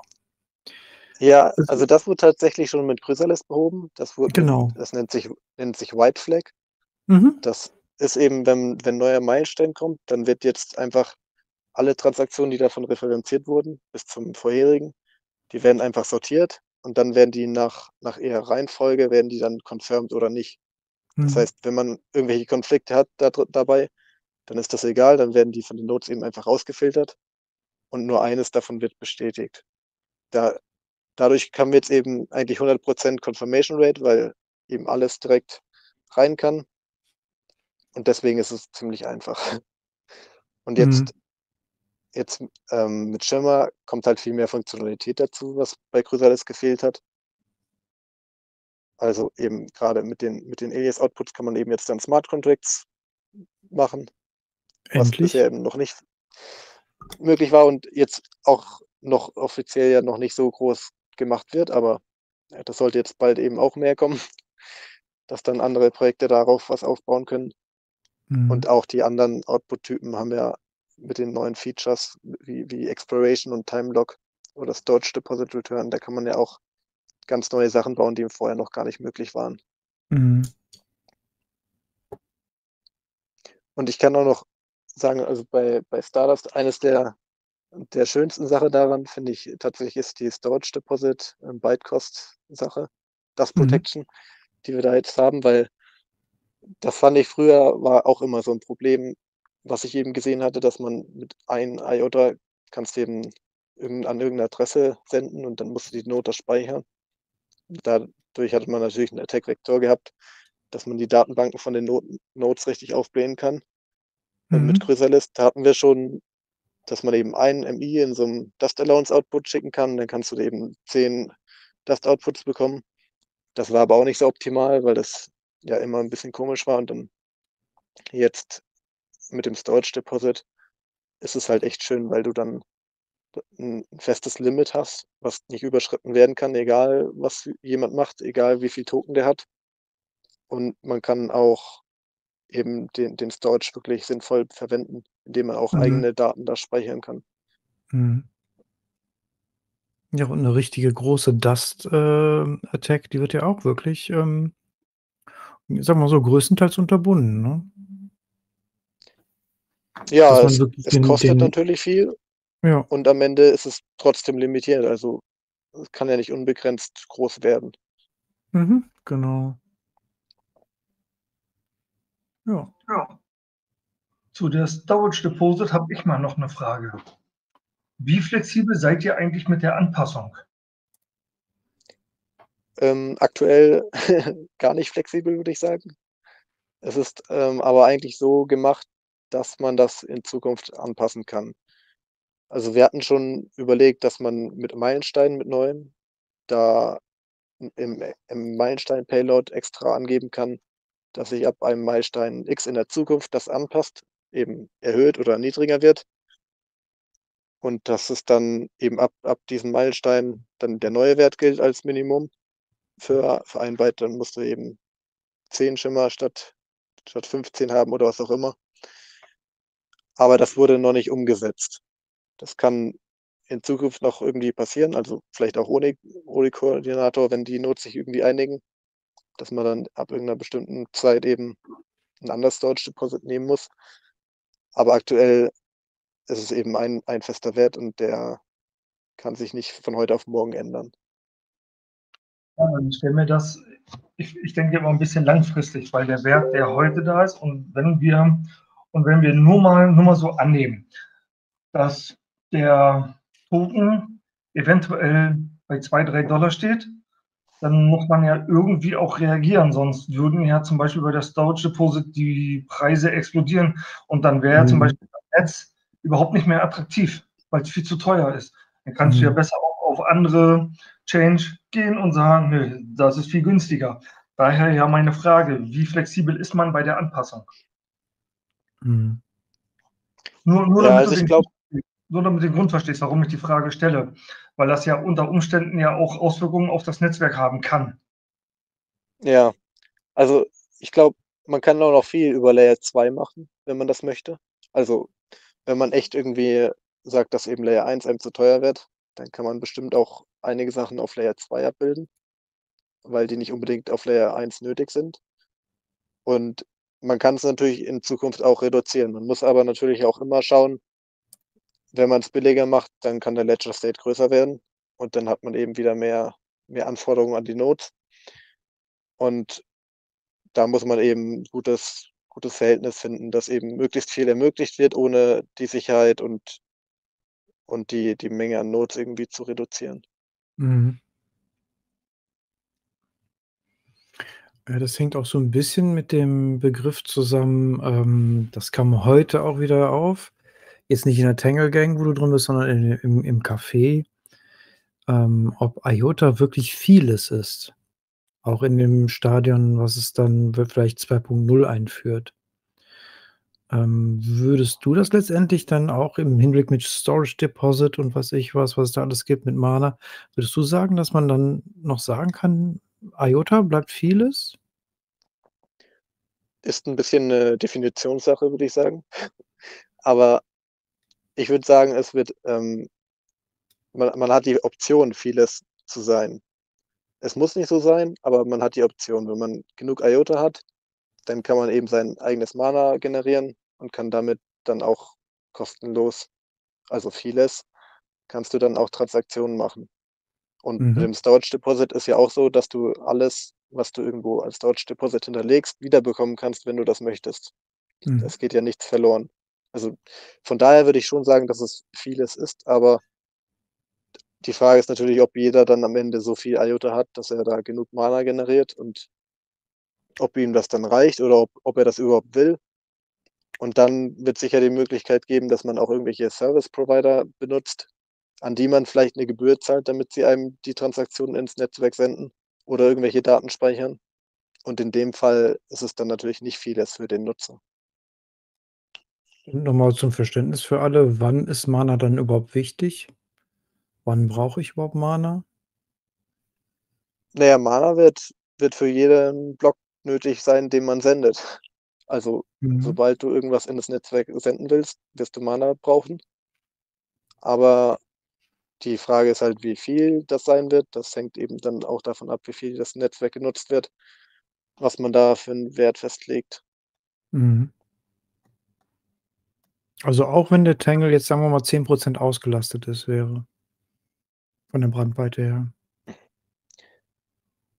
Ja, also, ich glaube, das soll auch so sein. Es war auch schon da da bin ich mir jetzt aber auch nicht sicher. Es war gab Mhm. eben beim Research schon schon Ideen, ob man eben schauen kann, ob man, wenn's nicht ausgelastet ist, auch kostenlos was senden kann, ohne Mana sogar. Mhm. Aber ich glaube, da gab's schon irgendwelche Probleme, weil dann könnte theoretisch eben, wenn du wenn du dann 10.000 auf einmal gleichzeitig in in also, in der gleichen Sekunde dann 'n Block senden und die alle kein Mana haben, dann hast du auf einmal zu viel und dann musst du gucken, welche Blöcke davon kannst du weiterleiten, welche werden ignoriert. Und das, ähm, macht es auf jeden Fall schwieriger. Ich weiß jetzt da eben nicht, wie's da weiterging, ob ob das dann möglich sein wird oder nicht.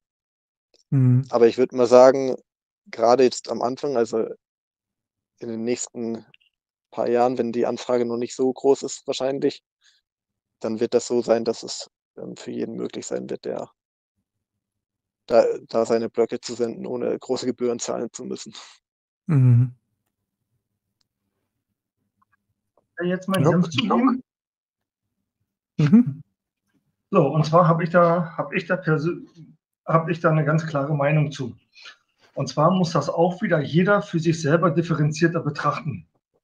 Du hast Mana. Mana wird benötigt, wenn du eine Transaktion durchführen willst. Meine Token generieren automatisch Mana. Völlig automatisch. Ich muss dafür nichts zahlen, wenn ich nicht gerade mir IOTA-Token kaufe und will die sofort versenden. Das wird bei mir nicht passieren. Für mich persönlich wird Mana äh, wird wird wird das IOTA-Netzwerk immer vieles sein. Das weiß ich. Das habe ich sichergestellt. Und es wird dann nicht mehr vieles, wenn zum Beispiel Leute ein gewisses Geschäftsmodell auf dem Tangle aufbauen wollen. Das heißt, wenn sie eine gewisse Anzahl von Transaktionen immer gesichert durch den Tangle schicken wollen, dann wird definitiv Mana zugekauft werden müssen. Aber der Vorteil bei Mana, und das ist das, was viele immer ganz gewaltig unterschätzen: Mana ist kein Kryptotoken. Das heißt, ich habe buchhalterisch, wenn ich ein Unternehmen habe, nicht jedes Mal den Aufwand: Wann kaufe ich den Token? Wie viel Wert hat er den Token hat der Token und wie viel Wert hat der Token, wenn ich ihn wieder verwende?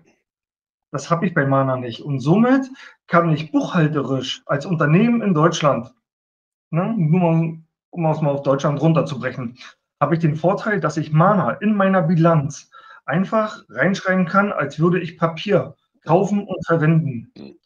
Ich kaufe mir einfach etwas, verbrauche es und fertig. Ich glaube, das geht bei vielen oft unter.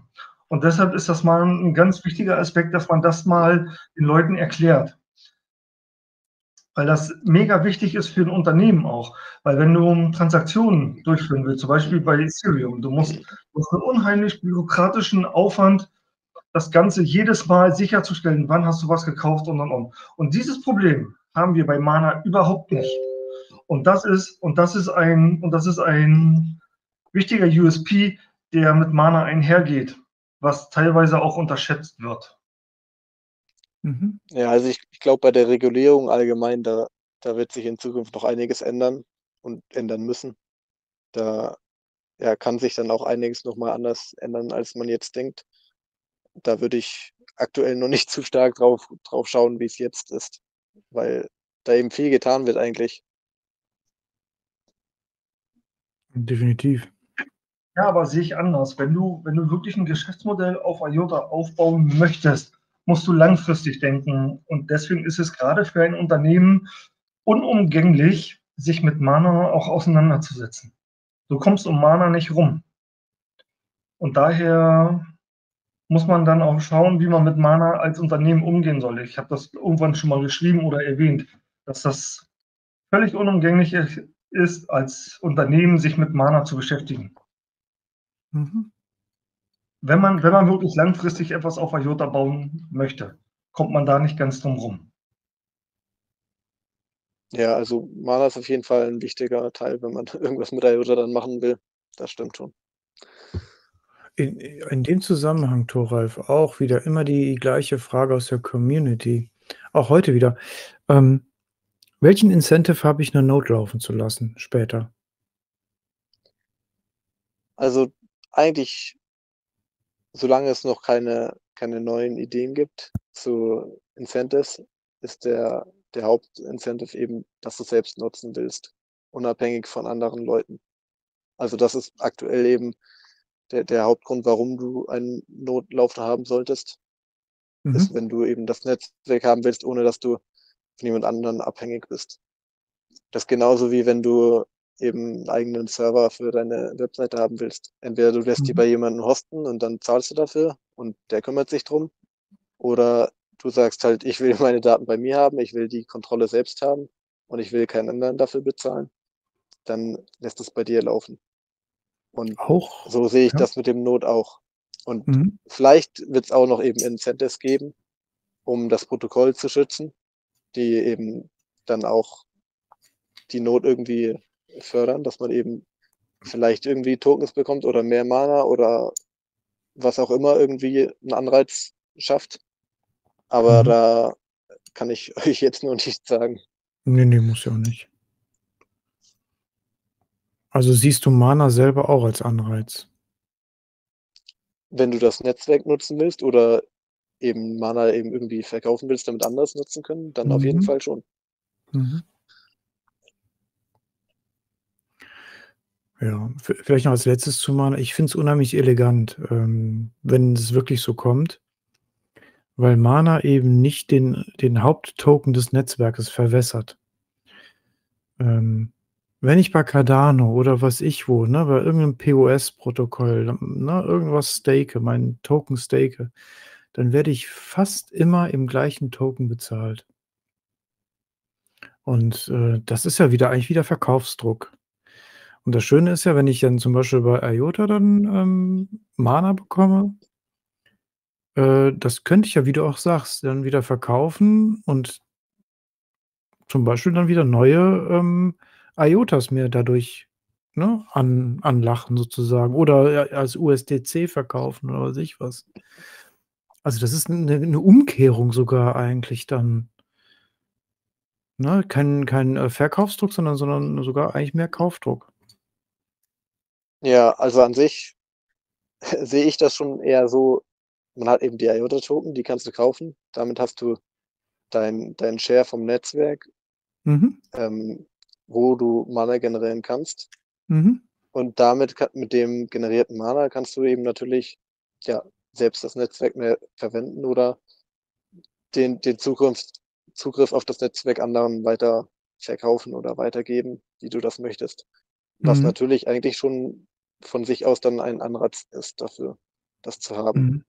Und dass eben der Token dadurch nicht verändert wird, ist natürlich auch schön, weil dann eben auch die Reichen nicht einfach direkt reicher werden, sondern eben auch irgendwie erst mal was machen müssen. Also, Mhm. die müssen dann irgend 'n Service machen, den sie verkaufen, was eben dem Netzwerk dann eben eigentlich auch was bringen sollte.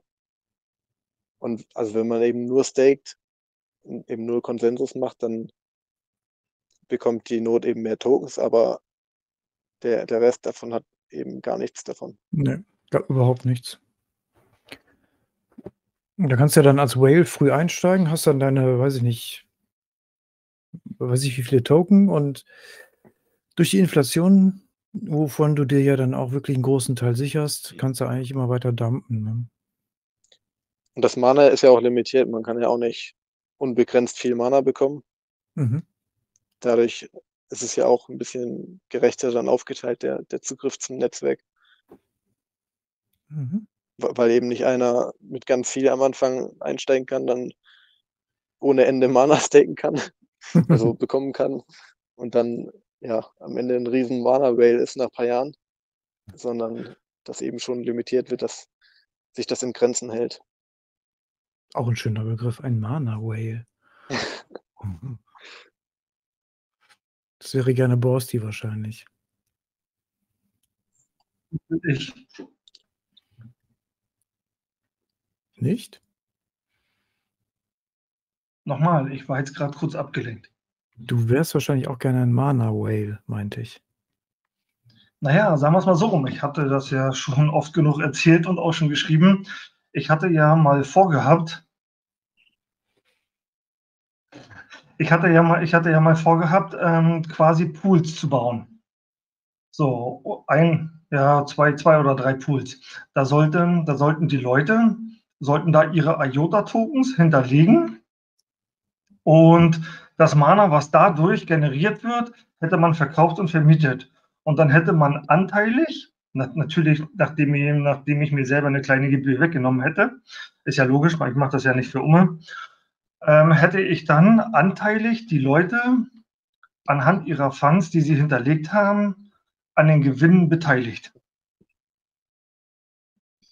Und ich denke Mhm. und ich denke, das wird auch in Zukunft befürchte denke ich mal, wird das auch so passieren.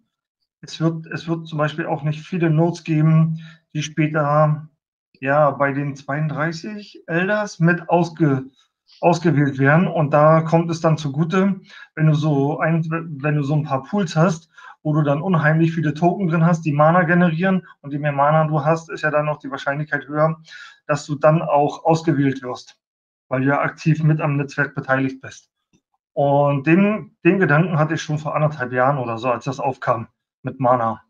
Nur, ja, IOTA braucht einfach zu lange. Deswegen habe ich's wieder einschlafen lassen. Aber ja, ich wäre gerne Mana-Whale geworden. Gebe ich hier offen zu. René hat recht. Kann ja in Zukunft vielleicht noch was werden. Ja, wer Nein, ich habe nein, nein, ich habe ich habe die Sachen in 'ne Tonne getreten, Ende aus Micky Maus. Wenn wenn jemand wenn jemand damit anfangen will, kann ich gerne 'n paar Tipps geben. Ich hatte auch noch 'n 2. Projekt, habe ich auch in die Tonne getreten und ich bin da nur noch beratend tätig. Ich fasse nichts mehr an. Ich habe jetzt meinen Sprachchat mit René zusammen und muss mich jetzt Jo. noch um YouTube kümmern und eventuell noch um 'nen Podcast, aber dann hört's bei mir jetzt auch auf.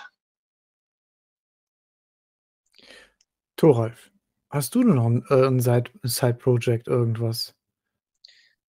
Ähm, aktuell tatsächlich nicht. Ich wollte eigentlich schon länger mal wieder was machen, aber ja, dann denkt man sich meistens, man macht doch lieber einfach direkt bei der richtigen Arbeit was weiter, also eben bei den Libraries, weil da am Ende dann mehr Gutes erzeugt wird.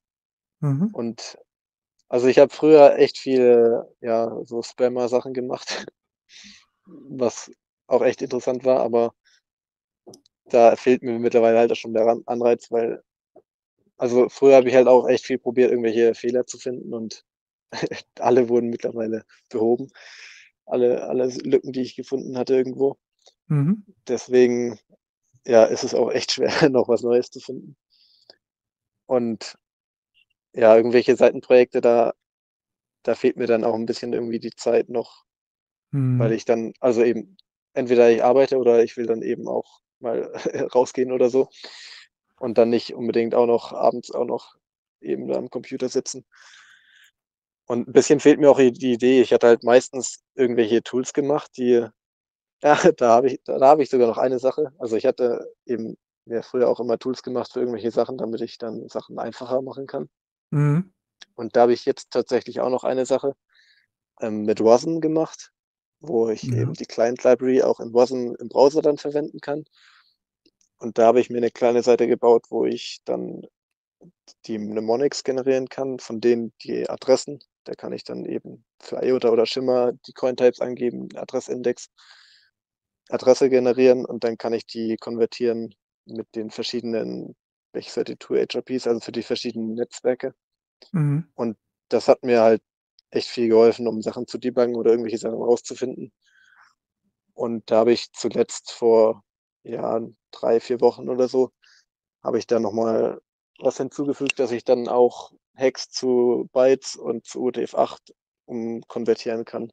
Dann kann ich eben auch bei den Outputs bei den Daten eben von der API direkt kann ich die rauskopieren und dann bei den Metadaten da reinschauen, was das für Daten sind oder ja, was was da Ja, sein praktisch. sollte. Also, eben so 'ne kleine kleine Spielerei, die mir die Arbeit erleichtert. Mhm. Aber davon abgesehen habe ich zurzeit nichts. Mhm. Na ja gut, ich meine, so so 'n Job, grade jetzt in so 'ner Hochzeit, wo auch einiges fertig werden muss, ne? Ich meine, der zieht natürlich auch einfach Zeit.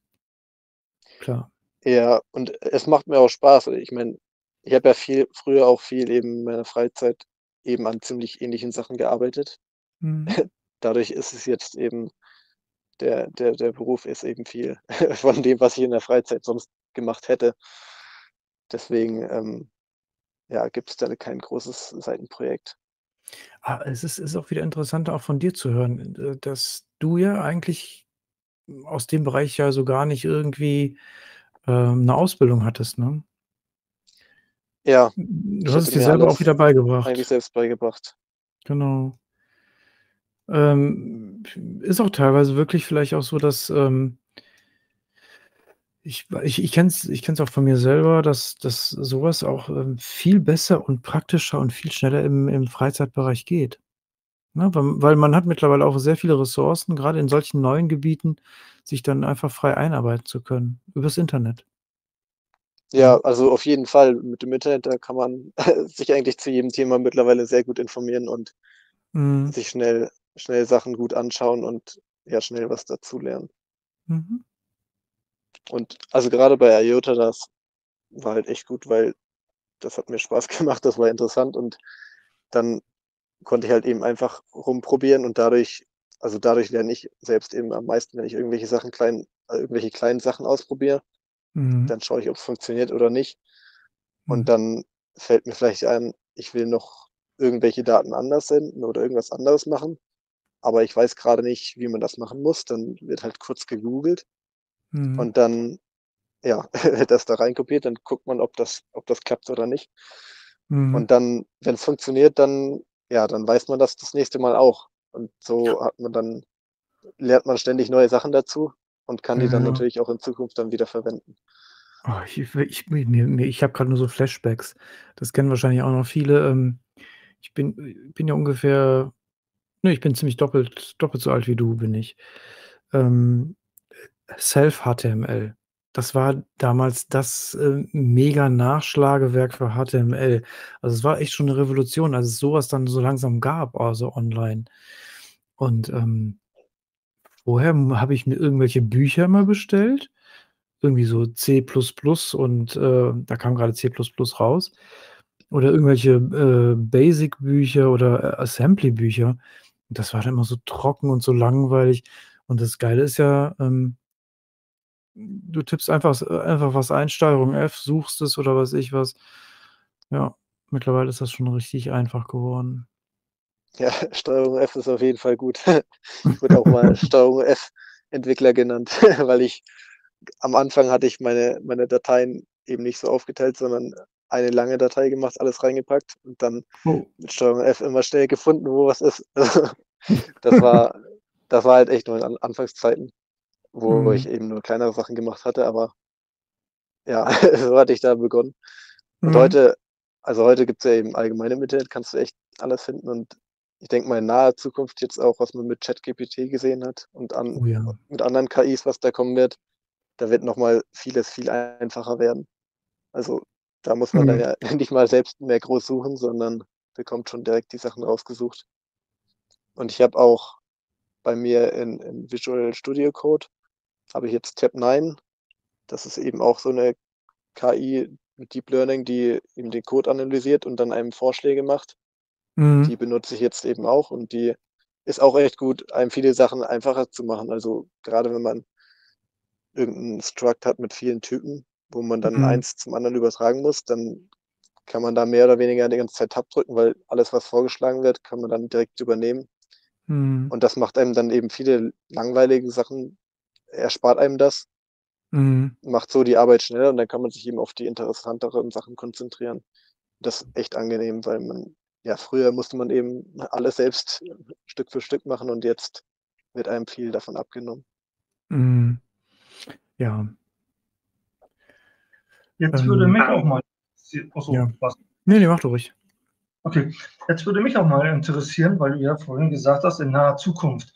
Das ist eigentlich 'ne Frage, die ich immer ganz gerne so Leuten grade von der IF auch mal so stelle, denn das Protokoll wird ja irgendwann mal einigermaßen ausgereift sein. Siehst du dich dann, äh, immer in den nächsten 5 Jahren immer noch bei IOTA oder wirst du dann, wenn das Ganze so grob fertig ist, dich auch mal neuen Herausforderungen gegenüber gestellt? Also, ich habe auf jeden Fall noch nicht geplant, irgendwas in Zukunft anders zu machen. Aber also, ich glaube, bei IOTA kann man schon noch viel machen. Also, grade mit Sharding, da also, selbst wenn wir Codesite haben, dann mit Sharding, da wird man bestimmt auch noch 'n paar Jahre gut was machen kann, bis es dann endlich irgendwann echt global mehr oder weniger unbegrenzt skalierbar wird. Ich denke, da gibt's schon noch viele Herausforderungen. Mhm. Was eben länger dauern wird, bevor man wirklich sagt, dass es fertig ist sozusagen. Und ja, ich weiß nicht, wie lange ich da noch sein werde. Also, was ich sonst eben noch interessant finde, ist künstliche Intelligenz. Da habe ich aber bisher noch nicht so viel reingeschaut. Aber das wäre auf jeden Fall eine Sache, die ich mir auch in Zukunft vorstellen könnte irgendwann. So schöne so schöne KI-Agents auf auf IOTA, das wäre nice. Das wäre wirklich schön. Ja, also, bei mir jetzt habe ich jetzt eher allgemein dran gedacht, aber wird bei IOTA bestimmt auch irgendwo was einbauen können, mehr oder weniger. Also, ob Mhm. man das im Protokoll direkt will, wahrscheinlich eher nicht, aber Ne. aber ja, wird bestimmt viele viele neue Sachen geben, über die man heute noch gar nicht nachdenkt. Mhm.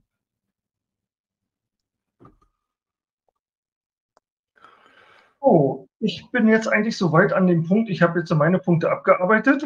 Das war eigentlich so ziemlich meine ja, meine letzte Frage. Wie seht ihr das? Wollen wir jetzt Fragen aus der Community rannehmen oder habt ihr noch hast du noch welche, René? Ich bin Ja, durch. ich habe noch ein ein oder 2 habe ich noch, die sich eben noch ergeben haben, aber sonst Ach so, okay, diese okay, dann bitte. Ähm, ja, eigentlich so 'ne allgemeine Frage, weil mich das immer interessiert. Ähm, äh, wir hatten das auch vorher bei Jonas und weiß ich was und Jonas meinte, er wäre mehr oder weniger auch schon digitaler Nomade. Ähm, du selber auch oder noch nicht? Oder hast du vor oder wie Ähm, sieht das bei dir aus? was versteht man unter digitalen Nomade? Also, dass du quasi von überall arbeitest und auch, äh, du letztendlich, äh, auf der ganzen Welt irgendwo natürlich, äh, zu Hause bist, mehr oder weniger. Also, bisher habe ich hauptsächlich von zu Hause gearbeitet, Mhm. weil ich das schon eigentlich angenehmer finde. Also, gerade mit 'nem großen Bildschirm. Da finde ich, kann man auch eben eigentlich besser arbeiten als an 'nem Laptop. Aber ähm, ganz ausschließen möchte ich's auf jeden Fall nicht. Aber ja, muss ich muss ich mal sehen, wie sich das in Zukunft ergibt. Mhm. Die dass man die Möglichkeit hat, ist auf jeden Fall sehr schön.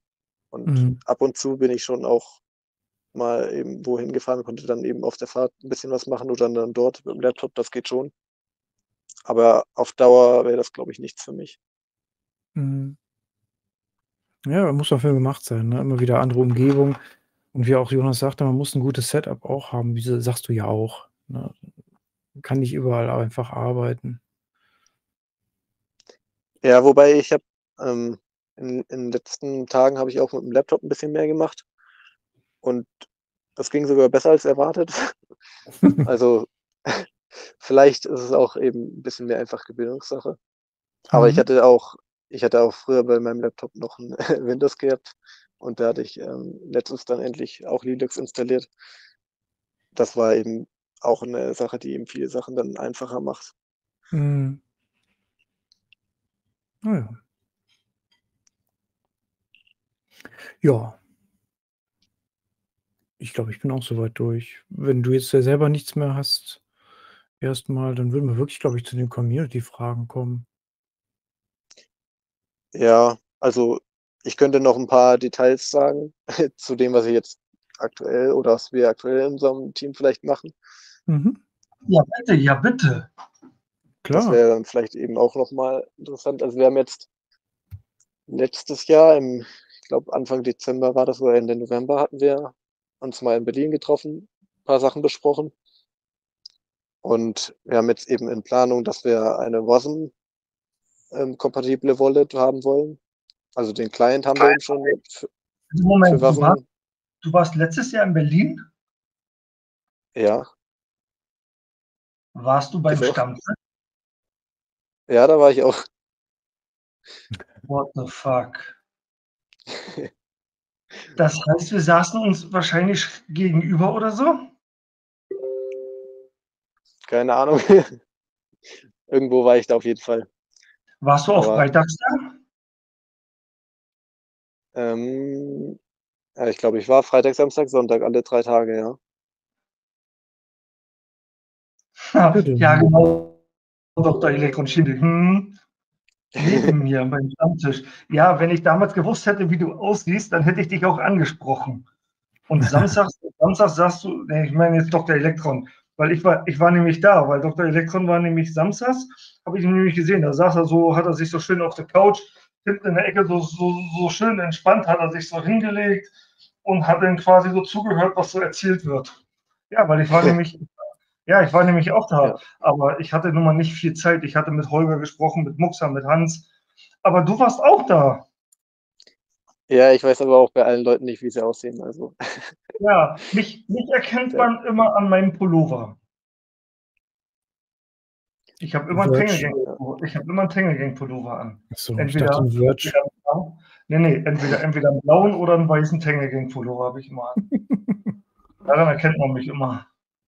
Ja gut, okay, ich wollte dich jetzt nicht unterbrechen. Ich hoffe, du weißt noch, wo du warst. Ja, ja, in Berlin war ich. Also, Genau, da da zweimal. Also, einmal waren wir da ähm, da war 'n großer Teil der EF da und später waren wir da noch nur mit meinem Team waren wir da, haben da paar Sachen besprochen, eben die wir schon länger vorhatten, mal zu besprechen oder jetzt dann auch für dieses Jahr geplant hatten. Und ein ein großer Teil davon war die Input Selection, also der der Teil, der auswählt, welche Outputs man verwendet für 'ne Transaktion in den Mhm. auf der Input-Seite, um dann für die Outputs eben das Benötigte zu haben. Und das war früher relativ einfach. Da hat man eben einfach den Amount gehabt, eben 1 MI willst du senden, dann brauchst du auf der Input-Seite 1 MI oder mehr. Und dann hat das funktioniert und dann wurde das mit Chrysales schon 'n bisschen komplizierter mit dem Minimum Storage Deposit. Da brauchte man ja dann mindestens 1 MI auf 'ner Adresse eben. Das heißt, man konnte nichts senden, was weniger als 1 MI hat, wenn die Empfangsadresse nicht schon 1 MI hat mit 'nem Dust Allowance oder man konnte auch nichts senden, wenn du eben 1,2 MI hast, konntest du nicht 1 MI senden, weil dann 0,2 MI übrig bleiben würden und die eben auch nicht für den Storage Deposit ausreichen. Und das war dann aber eigentlich auch noch relativ einfach zu machen, diese diese Sachen. Und jetzt mit Stardust haben wir die neuen Output-Typen mit den neuen Unlock Condition, die es viel komplizierter gemacht haben. Wir hatten da am Anfang begonnen, die alte Input Selection eben da mit den neuen Features Stück für Stück anzupassen, dass man dann eben auch NFT senden kann, dafür muss dann der NFT-Output von davor muss dann auf der Input-Seite sein, weil der immer nur einmal vorhanden sein darf, der Output, weil sonst wäre es kein einziger mehr. Das heißt, wenn, wenn man den eben woanders hinsenden will, dann wird sozusagen der alte zerstört und der neue dann woanders erzeugt. Und da gibt es dann jetzt eben, dass die sich auch gegenseitig gehören können, sozusagen, dass ein NFT dem anderen gehört. Das heißt, wenn du ein NFT senden willst, dann muss man in der Unlock-Condition gucken, wem dieses NFT gehört. Und wenn das in einem anderen gehört, dann müssen die eben auch wieder bei den Inputs gucken, dass wir da eben dann die beiden nötigen Sachen reinbringen. Dazu kommen dann die Native Tokens, die eben wie der Amount in den Outputs eben eigentlich nochmal ein eigener Amount sind, wo man dann auch wieder nochmal ein paar spezielle Regeln hat, weil die zum Beispiel auf 64 in einer Transaktion limitiert sind, also 64 unterschiedliche Native Tokens. Da darf man dann eben keine Outputs in den Inputs auswählen, die dann mehr haben am Ende, weil das dann eben keine gültige Transaktion mehr wäre. Und was richtig kompliziert wurde, dann waren die Unlock Conditions mit der Expiration und Storage Deposit Return, weil vorher musste man halt einfach nur auf die Adresse gucken. Die Adresse gehört dir, dann darfst du das eben versenden. Und jetzt muss man eben schauen, ist da ein Expiration dabei? Dann muss man schauen, ist das schon abgelaufen oder nicht? Wenn es abgelaufen ist, dann kriegt es eine neue Adresse. Und dann muss man schauen, ob die neue Adresse einem gehört. Und wenn es noch nicht abgelaufen ist, dann muss man eben die andere Adresse nehmen. Mhm. Und deswegen müssen wir jetzt eben immer, wenn irgendein, irgendein Input da benötigt wird, müssen wir dann immer nachschauen, ob, ob wir den jetzt überhaupt verwenden können oder nicht. Und dann gibt es eben das Storage Deposit Return. Das heißt, wenn wir irgendeinen Output von jemand anderem bekommen haben, wohl, bekommen haben, aber da dieses Storage Deposit Return under Condition ist, dann müssen wir, um den zu konsumieren, müssen wir da wieder was zurücksenden. Mhm. Dann müssen wir eben alleine wieder den, den Output erstellen, der das zurücksendet. Und dann, ja, die ganzen Sachen kombiniert mit, mit Alias-Outputs und Foundries noch, die die Native Tokens minden können oder melden, also den Supply wieder reduzieren. Oder man kann auch welche burnen, was natürlich nicht aus Versehen passieren darf. ähm, ja, die, diese ganzen Regeln, das war halt alles schon ganz schön kompliziert und eben nicht mehr ganz so klar im Code. Deswegen hatten wir uns da dann einen neuen Algorithmus sozusagen ausgedacht, wie wir das machen. Und da sind wir jetzt dabei, den gerade zu aktualisieren. Das wurde jetzt größtenteils mittlerweile getan. Heute haben wir das bei IOTAS gemerged, dass ähm, ja die neue Logik da ist und jetzt in den nächsten Tagen wird das dann so angepasst, dass die auch wirklich verwendet wird. Aktuell ist die nur vorhanden, aber wird noch nicht benutzt. Und da haben wir dann eben auch wieder eine Menge neue Tests geschrieben, damit eben alle, alle Fälle abgedeckt werden und das richtig funktioniert. Hm. Und das war eben, das ist eigentlich echt eine der, der kompliziertesten Sachen bei uns. Die größte Sache. Also ich glaube, da haben wir 53 Dateien wieder verändert und really? weiß nicht wie viel tausend Zeilen. Also das war ist schon echt kompliziert. Also denkt man erstmal gar nicht dran. Und dann ja, wollen wir eben, dass man auch Wallet as jetzt im Browser verwenden kann, eben mit zu Waffen kompilieren, weil das bisher noch nicht möglich ist. Und dann würde das eben auch noch ein paar Sachen mehr im Browser ermöglichen, die jetzt noch nicht so einfach zu machen sind. Und dann müssen wir auch noch hm. für das IOTA Mainnet ja, was was zum Beispiel wird das ermöglichen? Nur für alle, dass es irgendwie klar ist? Ja, 'ne Browser-Wallet zum Beispiel. Genau. Also, muss man halt noch mal gucken, wie man das mit der Sicherheit macht, weil die Private Keys natürlich nicht einfach im Browser rumliegen sollen und Stronghold auch nicht im Browser funktioniert direkt. Da könnte man Mhm. vielleicht mit irgendeiner Erweiterung das machen oder dann auch Ledger Nano verwenden. Mhm. Da da müssten wir noch schauen, aber auf jeden Fall, dass man die ganzen Funktionen, die eben die die Transaktionen erzeugen und sowas, dass man die im Browser verwenden kann. Also letztendlich ein Metamask, ne? Hm, ja, nicht direkt. Metamask ist ja 'ne Browsererweiterung. Die ich weiß nicht gar nicht, wie die gemacht wurde genau, Aber ich glaube, da könnte man theoretisch sogar auch anderen Code verwenden, aber Mhm. ähm, Wasm heißt halt, du kannst es komplett im Browser laufen lassen oder als Erweiterung installieren zu müssen. Mhm, okay. Ja. Wie wie Ja. die wie wie hieß die noch mal? Entschuldige, die wieder eingestampft worden ist, die kleine Browser-Wallet bei IOTA selber? Ähm, war das Spark oder so? Spy Spark hieß die, ja genau, ja, ja. Ja, die die war ja irgendwie so 'ne so 'n kleinen Test-Wallet. Mhm. Aber ja. Okay, ich wollte dich Ja. unterbrechen. Ja, dann dann dann müssen wir noch irgendwann, ähm, schauen, dass wir eben die Migration von IOTA zu Shimmer machen. Also, von von IOTA das Update zu Stardust. Da müssen wir noch mal bei der Datenbank was migrieren, damit nicht alle Sachen verloren gehen, die früher da waren bei IOTA. Aber das ist jetzt nicht so ganz große Sache. Und dann wollen wir eben noch die Account-Hierarchie eben ändern, dass man eben NFTs als Wallet haben kann oder die die EDS-Outputs auch. Und bei den EDS-Outputs, was auch ganz interessant ist, die haben 2 Adressen, die die kontrollieren können. Einmal so 'n Governor und einmal 'n State Controller. Und da könnte man theoretisch auch eben den Governor eben bei sich haben und dann den State Controller auswechseln. Mhm.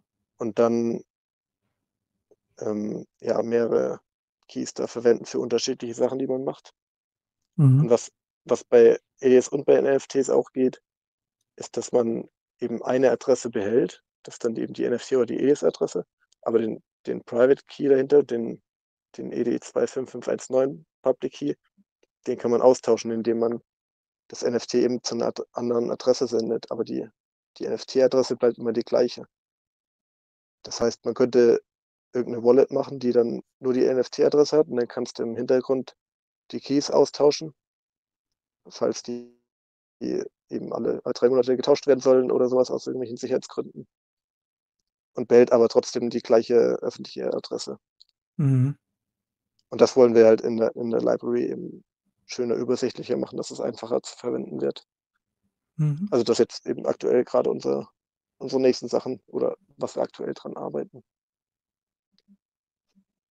Und dann gibt's natürlich immer irgendwelche kleinen Bugs und Sachen, die man noch beheben muss, aber ja, keine keine besonderen Sachen. Aber ihr wollt jetzt nicht so weit gehen du hattest jetzt eben gesagt mit dem Govern.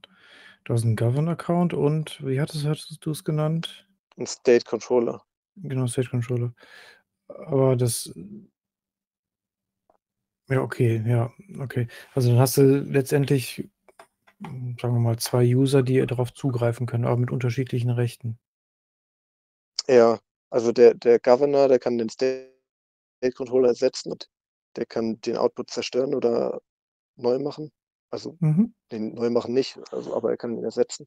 Und der State Controller, der kann immer 'ne die nächste Transition machen und kann paar Daten innerhalb von dem Output ändern, paar Metadaten. Also, der Mhm. der der wurde eigentlich für die Smart Contracts erstellt und die die benutzen den, aber man kann den halt auch für andere Sachen verwenden. Und bei der digitalen Identität da bei dem Projekt, die benutzen jetzt das für Stardust dann auch. Mhm. Da wollen wir eben auch eben die bisschen unterschiedlichen Rechte ausnutzen, dass man das dann machen kann. Was vor allem Äh auch interessant ist, dass eben diese diese Adresse, die bleibt eben immer die gleiche.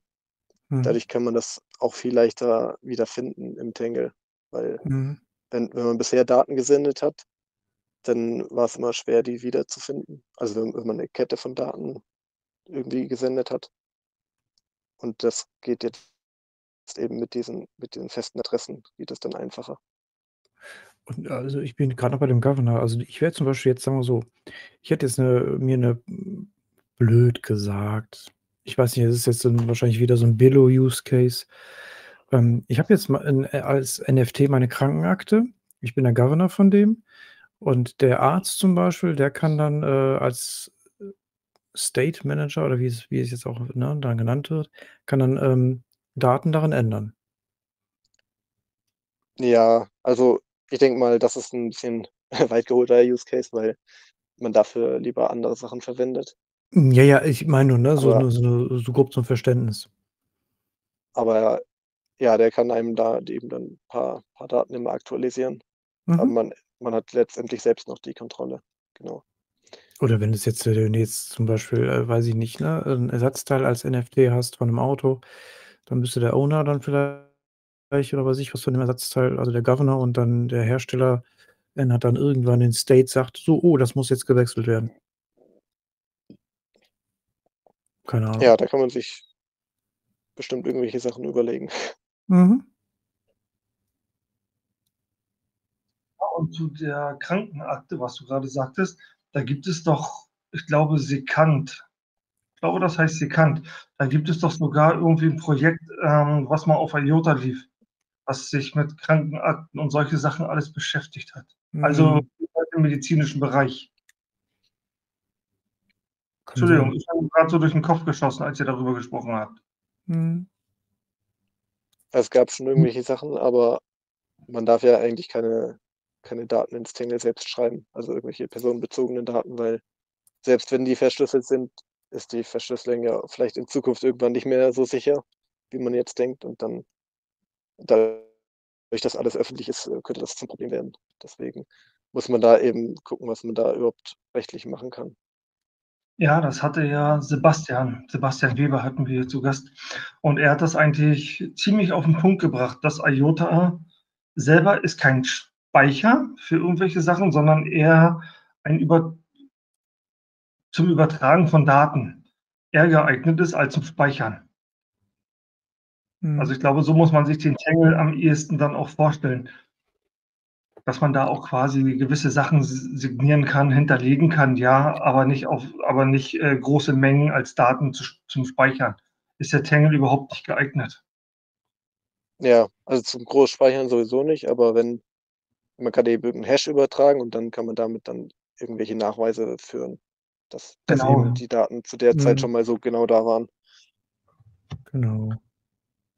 Ja, aber solche aber das meinte René wahrscheinlich grade. Solche solche einfachen Daten könnte man ja normalerweise dann in ein NFT packen, weil Daten müssen Genau. ja Daten Dat genau, und Daten müssten ja dann in dem Moment auch veränderbar sein. Und Daten kannst du ja dann in dem Moment, wenn du sie auf 'n Tangle schreibst, nicht verändern, sondern höchstens, wenn du's anbindest mit einem NFT, dass du dahingehend das NFT entsprechend verändern kannst. Mhm. Aber du kann du kannst auch Daten in 'nem normalen Basic Output haben. Da kann man auch die Metadaten-Feature hinzufügen. Da kann man jetzt auch irgendwelche Daten speichern, die man möchte. Der der Nachteil da ist halt nur, dass die, ähm, ja, sich in Zukunft halt verändern können einfach ohne ohne irgend 'ne Eingrenzung und das dann vielleicht nicht mehr so leicht zu finden ist. Also, es gibt so 'n Tag-Feature, was man auch hinzufügen kann. Damit kann man die auch von der Node abfragen. Aber das kann halt auch jeder senden. Sehr schön. Da kommen so einige Use Cases wieder neu zusammen. Also, bei mir rattert es grade. Egal. Ja, also, ich glaube echt, 'n Storage Deposit, das haben noch viele gar nicht so ganz verstanden. Und da gibt's bestimmt in Zukunft noch einige Sachen mehr, die dann das wirklich ausnutzen. Weil Mhm. früher hatte man ja immer das Problem gehabt, die Daten werden eben nach 'ner Woche oder so von den Nodes gelöscht, dann sind sie weg. Und mit dem Storage Deposit, da hinterlegst du eben deinen deinen Einschimmer oder was auch immer.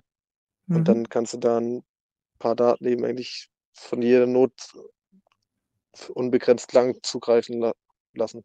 Also Mhm. da kann man einige Sachen schon machen. Ja. So. Ja, und das Storage Deposit ist ja ist ja dann auch wieder eine direkte Anwendung für den Token. Sowohl Jo. SHIB als auch IOTA. Ja, auf jeden Fall. Um mal den Token Use Case jetzt noch mal kurz hervorzuheben. Und jetzt hat sich bei mir dann doch noch 'ne Frage so 'n bisschen eingebrannt, weil wir die ganze Zeit darüber gesprochen haben, über Wallets, Libraries. Was würdest du dir persönlich ganz gerne wünschen, was Firefly mal können sollte? Du hast Ähm garantiert, wenn du den ganzen Tag da sitzt und codest, hast du nebenbei garantiert irgendwelche Ideen, wo du sagst: „Ja, das würde ich gerne in Firefly integrieren.“ Also, ich würde eigentlich gern 'n Debug-Log haben, den ich exportieren kann. Weil, ja, meistens, wenn wenn irgendwelche Probleme sind, dann bekomme ich oft keine Logs zugeschickt und dann ist es immer schwer herauszufinden, woran's lag. Aber irgendwelche anderen Sachen, ja, tatsächlich nicht. Also im Alltag verwende ich Firefly auch gar nicht, muss ich sagen. Deswegen an irgendwelchen Features an sich fehlt es mir auf jeden Fall nicht.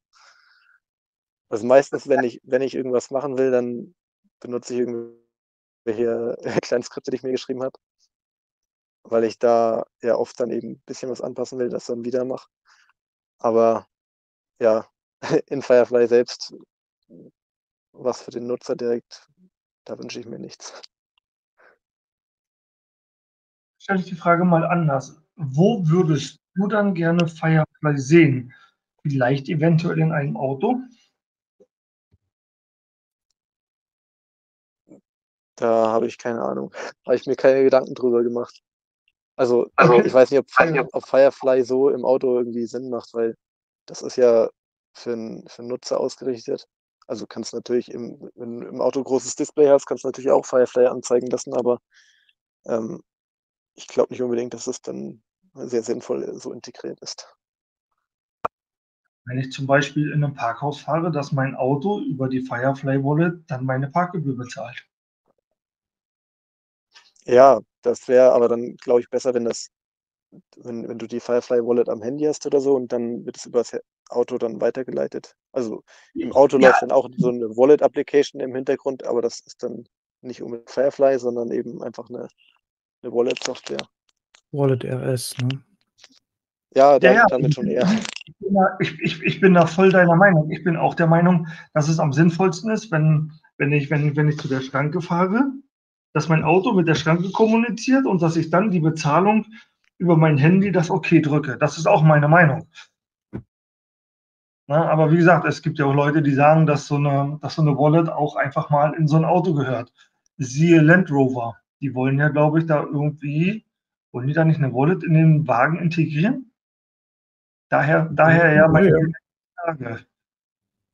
Daher es ja mein irgendwann mal so ein, so ein Blogartikel, glaube ich, aber da, das, das war jetzt so die Hintertür, das war jetzt, das war jetzt, ja, das war jetzt durch die Hintertür die Frage, ob ihr in dem Bereich was macht. Aber dieses kategorische äh, Nein sagt mir eigentlich, dass da gerade nicht gearbeitet wird.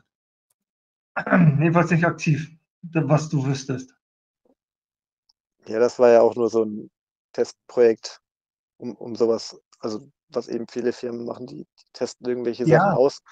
Und vielleicht kommt irgendwann in Zukunft mal was, wenn sich da ja was größer durchsetzt. Aber ich glaube, aktuell auf dem jetzigen Stand ist es auch nicht unbedingt gut, auf IOTA was aufzubauen. Also wenn es eben noch so zentralisiert ist und viele Sachen mhm. nicht ganz optimal laufen, dann wollen das vielleicht viele nicht. Also mit Shimmer wird es auf jeden Fall, glaube ich, schon attraktiver, weil man da eben ein paar neue Features hat. Aber ja, letztendlich, wenn es wirklich dezentral ist, dann, dann hat man ja auch eine, eine höhere Sicherheit von der Uptime gewährleistet wenn, wenn, wenn kein, kein Bug gefunden wird auf einmal.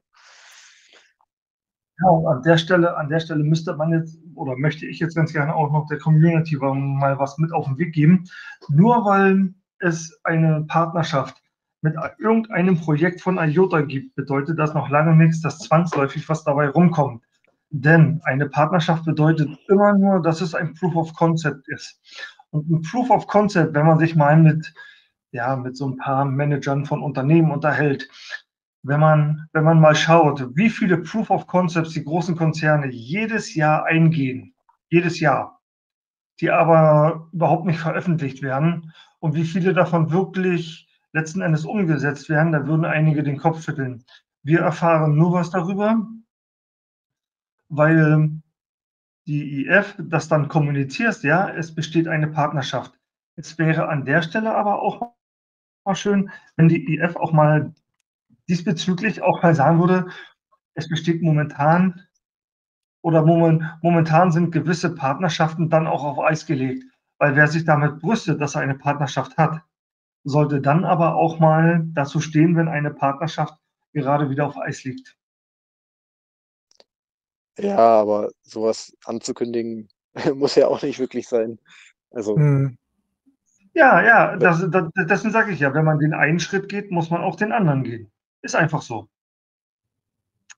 Dann sollte man, dann sollte man auch seitens der EF auch solche Sachen dann lassen. Oh, ich bin heute sehr kritisch. Okay, ähm, ja, aber ist nun mal so. Es ist ein zweischneidiges Schwert. Wenn ich etwas ankündige, dass etwas besteht, dann muss ich auch, dann muss ich auch den Arsch in der Hose haben, auf gut Deutsch gesagt, und muss dann auch mal sagen, wenn diese Partnerschaft äh, quasi auf Eis liegt, dann muss ich das auch bei Nachfrage oder wenn mal die Fragen aufkommen, dann auch kommunizieren.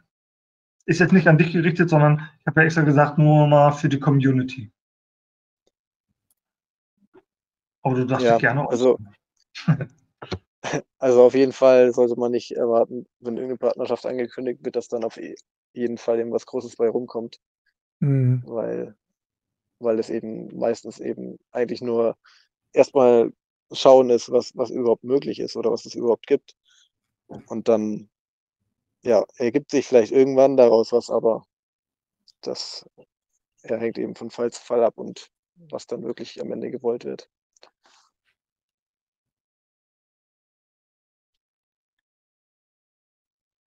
Ja, Aber Dr. Eltron hatte auch recht, äh, ne, es ist selten, dass 'ne Partnerschaft gekündigt wird, offiziell in 'nem Blog. Also, das ja, meistens ist das dann unter der Hand, dass es dann einschläft.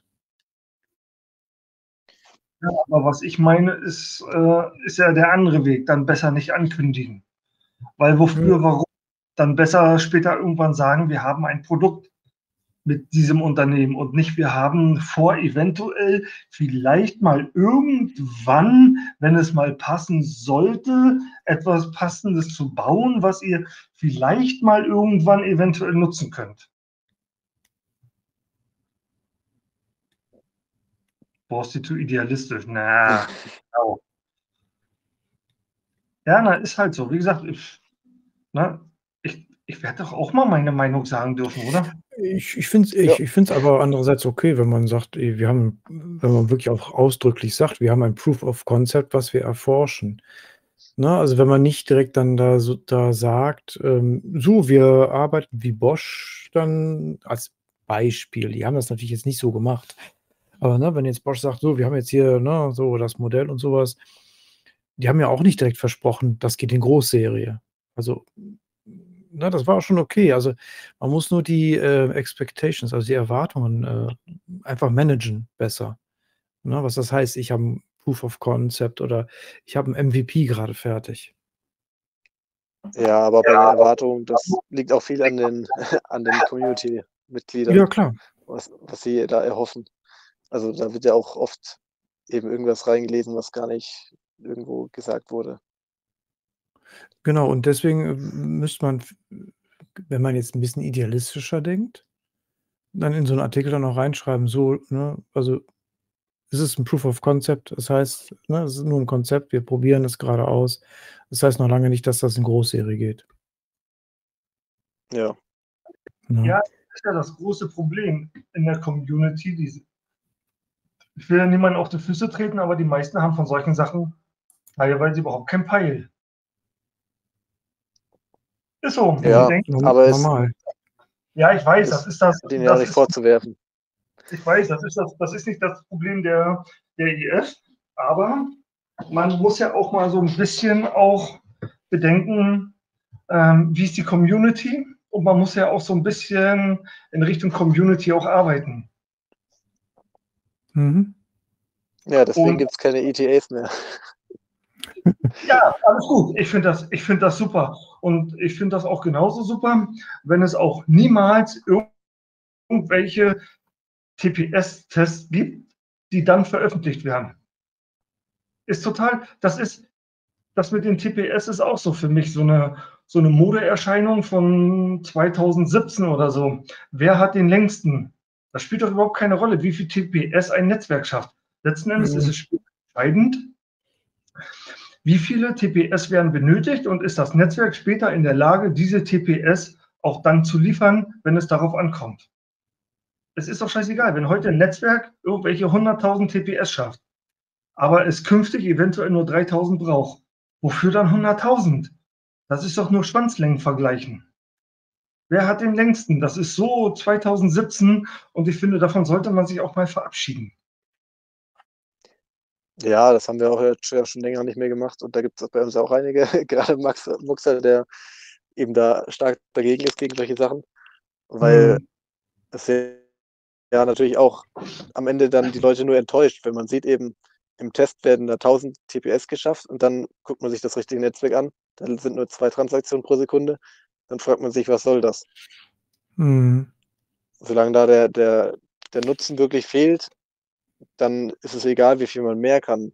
Also, ist natürlich gut, viel viel zu können, aber wenn man's nicht braucht, dann ja, ist es auch nicht wirklich relevant.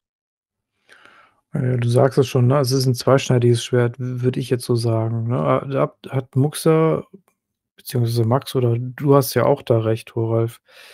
Andererseits musst du aber auch 'n Benchmark haben, wenn du irgendwo Richtung Mass Adoption irgendwann auch, äh, gehen möchtest. Dann guckst du dir natürlich auch TPS an von, was weiß ich jetzt, äh, ne, so platt gesagt von Visa oder, ne, anderen Bezahlsystemen oder auch irgendwelchen Datentransfersystemen. Da guckst du dir's natürlich an und sagst dir: „Boah, das ist 'ne Hausnummer, die muss schon irgendwann her.“ Aber das ist ja Ja, glaube wirklich ausgear ja.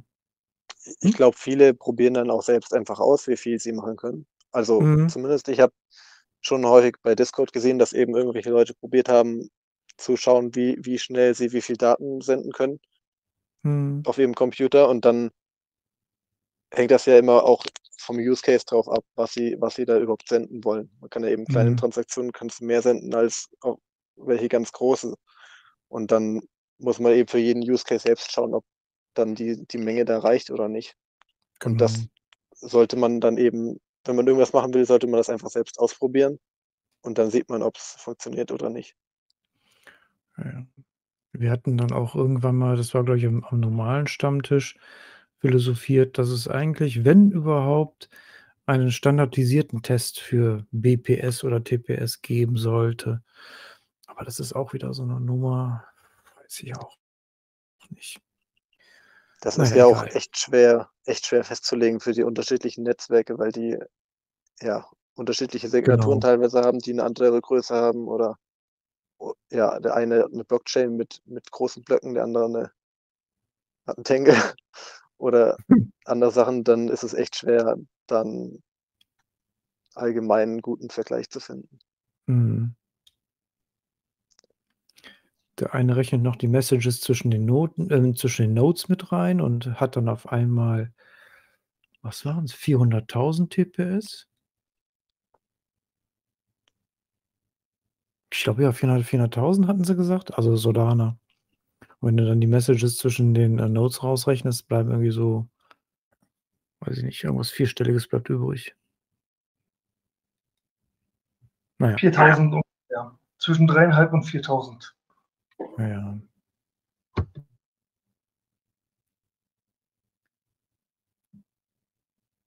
ja. Ja. Wie gesagt, also in meinen Augen ist das wirklich nur 'n Schwanzlängenvergleich, der auf 2017 hängen geblieben ist. Denn wie viel ja, wie viel TPS macht ETH? Zu wenige. Aber es funktioniert, oder? Nein, nicht unbedingt. Na ja. Ne, also wirklich in in, äh, Congestions Time, also wenn du wirklich 'n 'n Run hast auf irgendwie auf 'ne NFT-Kollektion oder auf irgend 'n Mint von 'nem Token, das bricht komplett noch immer zusammen. Äh, ne, es also es reicht wirklich noch noch immer nicht. Muss man wirklich so klar sagen. Ja, also ich glaube, wir haben erst mal genug Potenzial bei uns. Wir brauchen erst mal mehr mehr Use Cases, die dann die Sachen auch ausnutzen vom Netzwerk. Mhm. Aber wann können wir die sehen im fertigen Protokoll? Tja, das ist 'ne gute Frage. Ich weiß, das war jetzt gemein, aber das musste sein. Ja, alles Ja. gut, das ist ja wir wir hoffen ja wir hoffen ja, dass sich jetzt dieses Jahr so nach und nach dann doch mal das eine oder andere im Netz Oh, jetzt muss ich überlegen, welches Netz? Okay, wir haben jetzt 2 Netze, das ist immer das Problem, dass sich das eine oder andere in den Netzen mal widerspiegeln sollte. Ja, ich kann ich kann nur sagen, soon wird was kommen. Ja, das ist gut, das gefällt mir. sehen. Ich mag dieses soon noch immer. Ich habe da auch immer 'n Standard-GIF für. Gut, also wir schweifen jetzt mittlerweile ganz schön ab. Ja. Ja. Gibt es noch irgendwelche, vielleicht eben andere Fragen?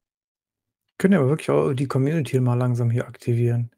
Genau. Ist ja eh schon, ist ja eh schon halb dabei. Hallo, hallo, nicht mehr einschlafen, aufstehen. Wer von euch hat denn jetzt eine Frage direkt an Thoralf? Hier, ich lese gerade, wenn Bindings, die auf Apple Silicon funktionieren. Nee, nee, nee, nee, nee, nee, nee, nee, nee, nee, nee, nee, nee, nee, nee, nee, nee, nee.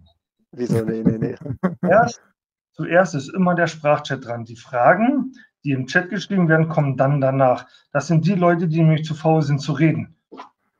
Ach so. Budini redet, Budini redet nicht gerne, genau. Ja, nee, nie. Den kannst du freischalten, da kommt nie ein Ton raus. Ähm, deshalb deshalb ähm, fragen wir immer erst, weil wir sind ja ein Sprachchat, und wir fragen immer zuerst, ob jemand aus der Community direkt eine Frage an unseren Gast hat. Dann bitte sich jetzt bemerkbar machen.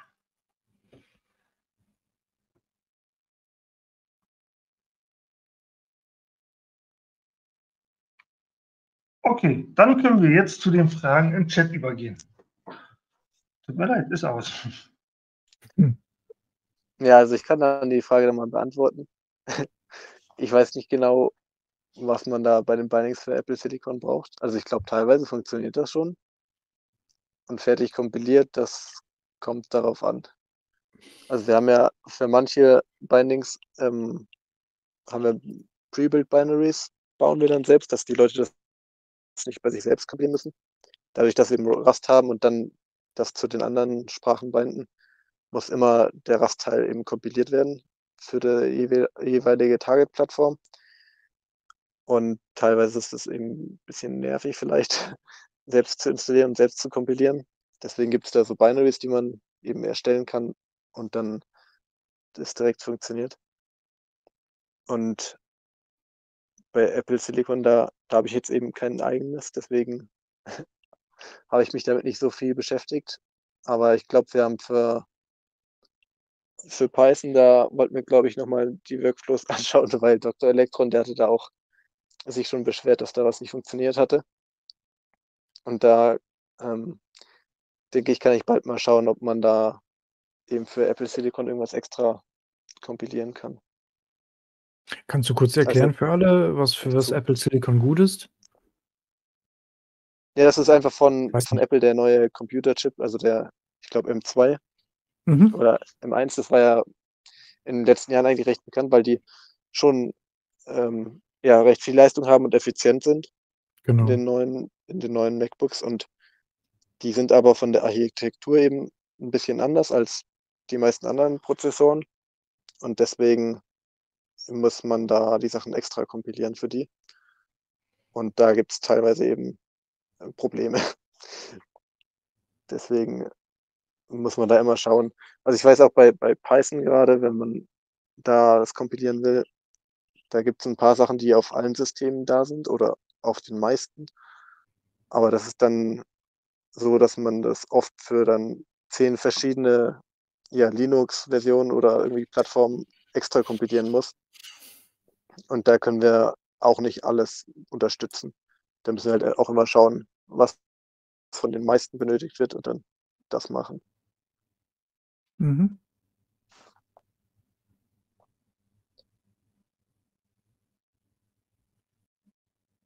Haben wir sonst noch eine schöne Frage? Ja, Budini, hast du noch eine Frage? Ja, oder, oder andersrum gefragt, reicht dir die Antwort schon mal? Okay, er ist durch. Gut, heißt das, wir sind jetzt auch durch? Wenn Merch my PR. Ja, also Dr. Elektron, ich kann nur sagen, ich weiß nicht welchen von deinen, aber Lösch sie einfach, Also- lösch sie einfach. bei, bei dem einen, ich glaube, da muss noch jemand anders approven. Ja, genau. Das kann man bestimmt morgen schaffen, den zu merchen. Der hat heute äh, für die Dokumentation ein paar PRs aufgemacht, um das im Wiki zu aktualisieren. Deswegen an er der, Stelle, an der Stelle möchte ich dir auch noch mit auf den Weg geben. Am 9.2.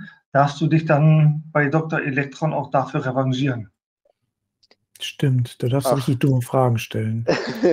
Genau. Darfst du dann Ja, auch ich hab- machen. Ich habe bei uns eh schon gesagt, wir haben ähm, bei uns jetzt solche Objectives and Key Results für unser Team auch geplant gehabt. Und ein Teil davon ist Developer Experience, was genau der Teil von der Dr. Electron ist. Und da meinte ich dann schon, dass er dann eben die ganze Arbeit für uns übernehmen kann. Das heißt, da kann er dann für unser Team arbeiten. Ja. ja, Dr. Elektron, es war der 9.2. Soll ich dir nochmal den Beitrag aus dem IOTA, nee, aus einem einfach IOTA Discord raussuchen? Habe ich dir, den Link habe ich dir schon mal geschickt. Ich mache das gerne nochmal. Ich, Immer noch ich der rieche, ja, ich rieche Alzheimer, Borsti. Ganz starke Alzheimer rieche ich. Aber bei wem? Ja, ja, schon klar bei wem. ja. Ja, gut, okay. so. Wir haben jetzt soweit keine weiteren Fragen mehr. Gehe ich mal von aus. Was ist das denn jetzt hier? So, gut. Dann Mhm. Ja, bedank, dann bedanke ich mich recht herzlich bei Thoralf, dass du heute unser Gast warst, uns Rede und Antwort gestanden bist. Dann, dann bedanke ich mich auch René, der mich heute unterstützt hat, weil bei einigen technischen Fragen bin ich dann doch raus. Und da bin Mhm. ich dann froh, dass ich jemanden wie René noch dabei habe. Ich wünsche euch dann noch allen einen schönen Abend und dann bis zum nächsten Mal. genau. Ja, danke, dass ihr mich eingeladen habt. War nett hier. Ja, auch, auch, auch an dich, wie an jedem anderen in einem halben Jahr, gerne wieder. Ja, können wir gerne machen. Genau. Wenn es irgendwas Neues gibt oder so. Von mir natürlich auch ein riesen Dankeschön an euch beide. Bis zum nächsten Mal. Von mir auch. War mega interessant. Vielen lieben Dank. Obersuchti, moin. Gut, ich stopp, ich stopp Ja, dann ich, jetzt war, erstmal. ich, war von Anfang, ich war von Anfang an dabei. Ja, habe ich, ja, ja, habe ich gesehen, habe ich gesehen. Gut, ich stopp dann jetzt erstmal die Aufnahme und macht nicht den Fehler wie unser letzter Gast, der einfach weiter gesprochen hat und später dann die und später das Ganze dann ähm, quasi rausgeschnitten haben wollte. Das geht auf Telegram nicht. Mhm. Okay, gut. Jungs, ciao, bis bald.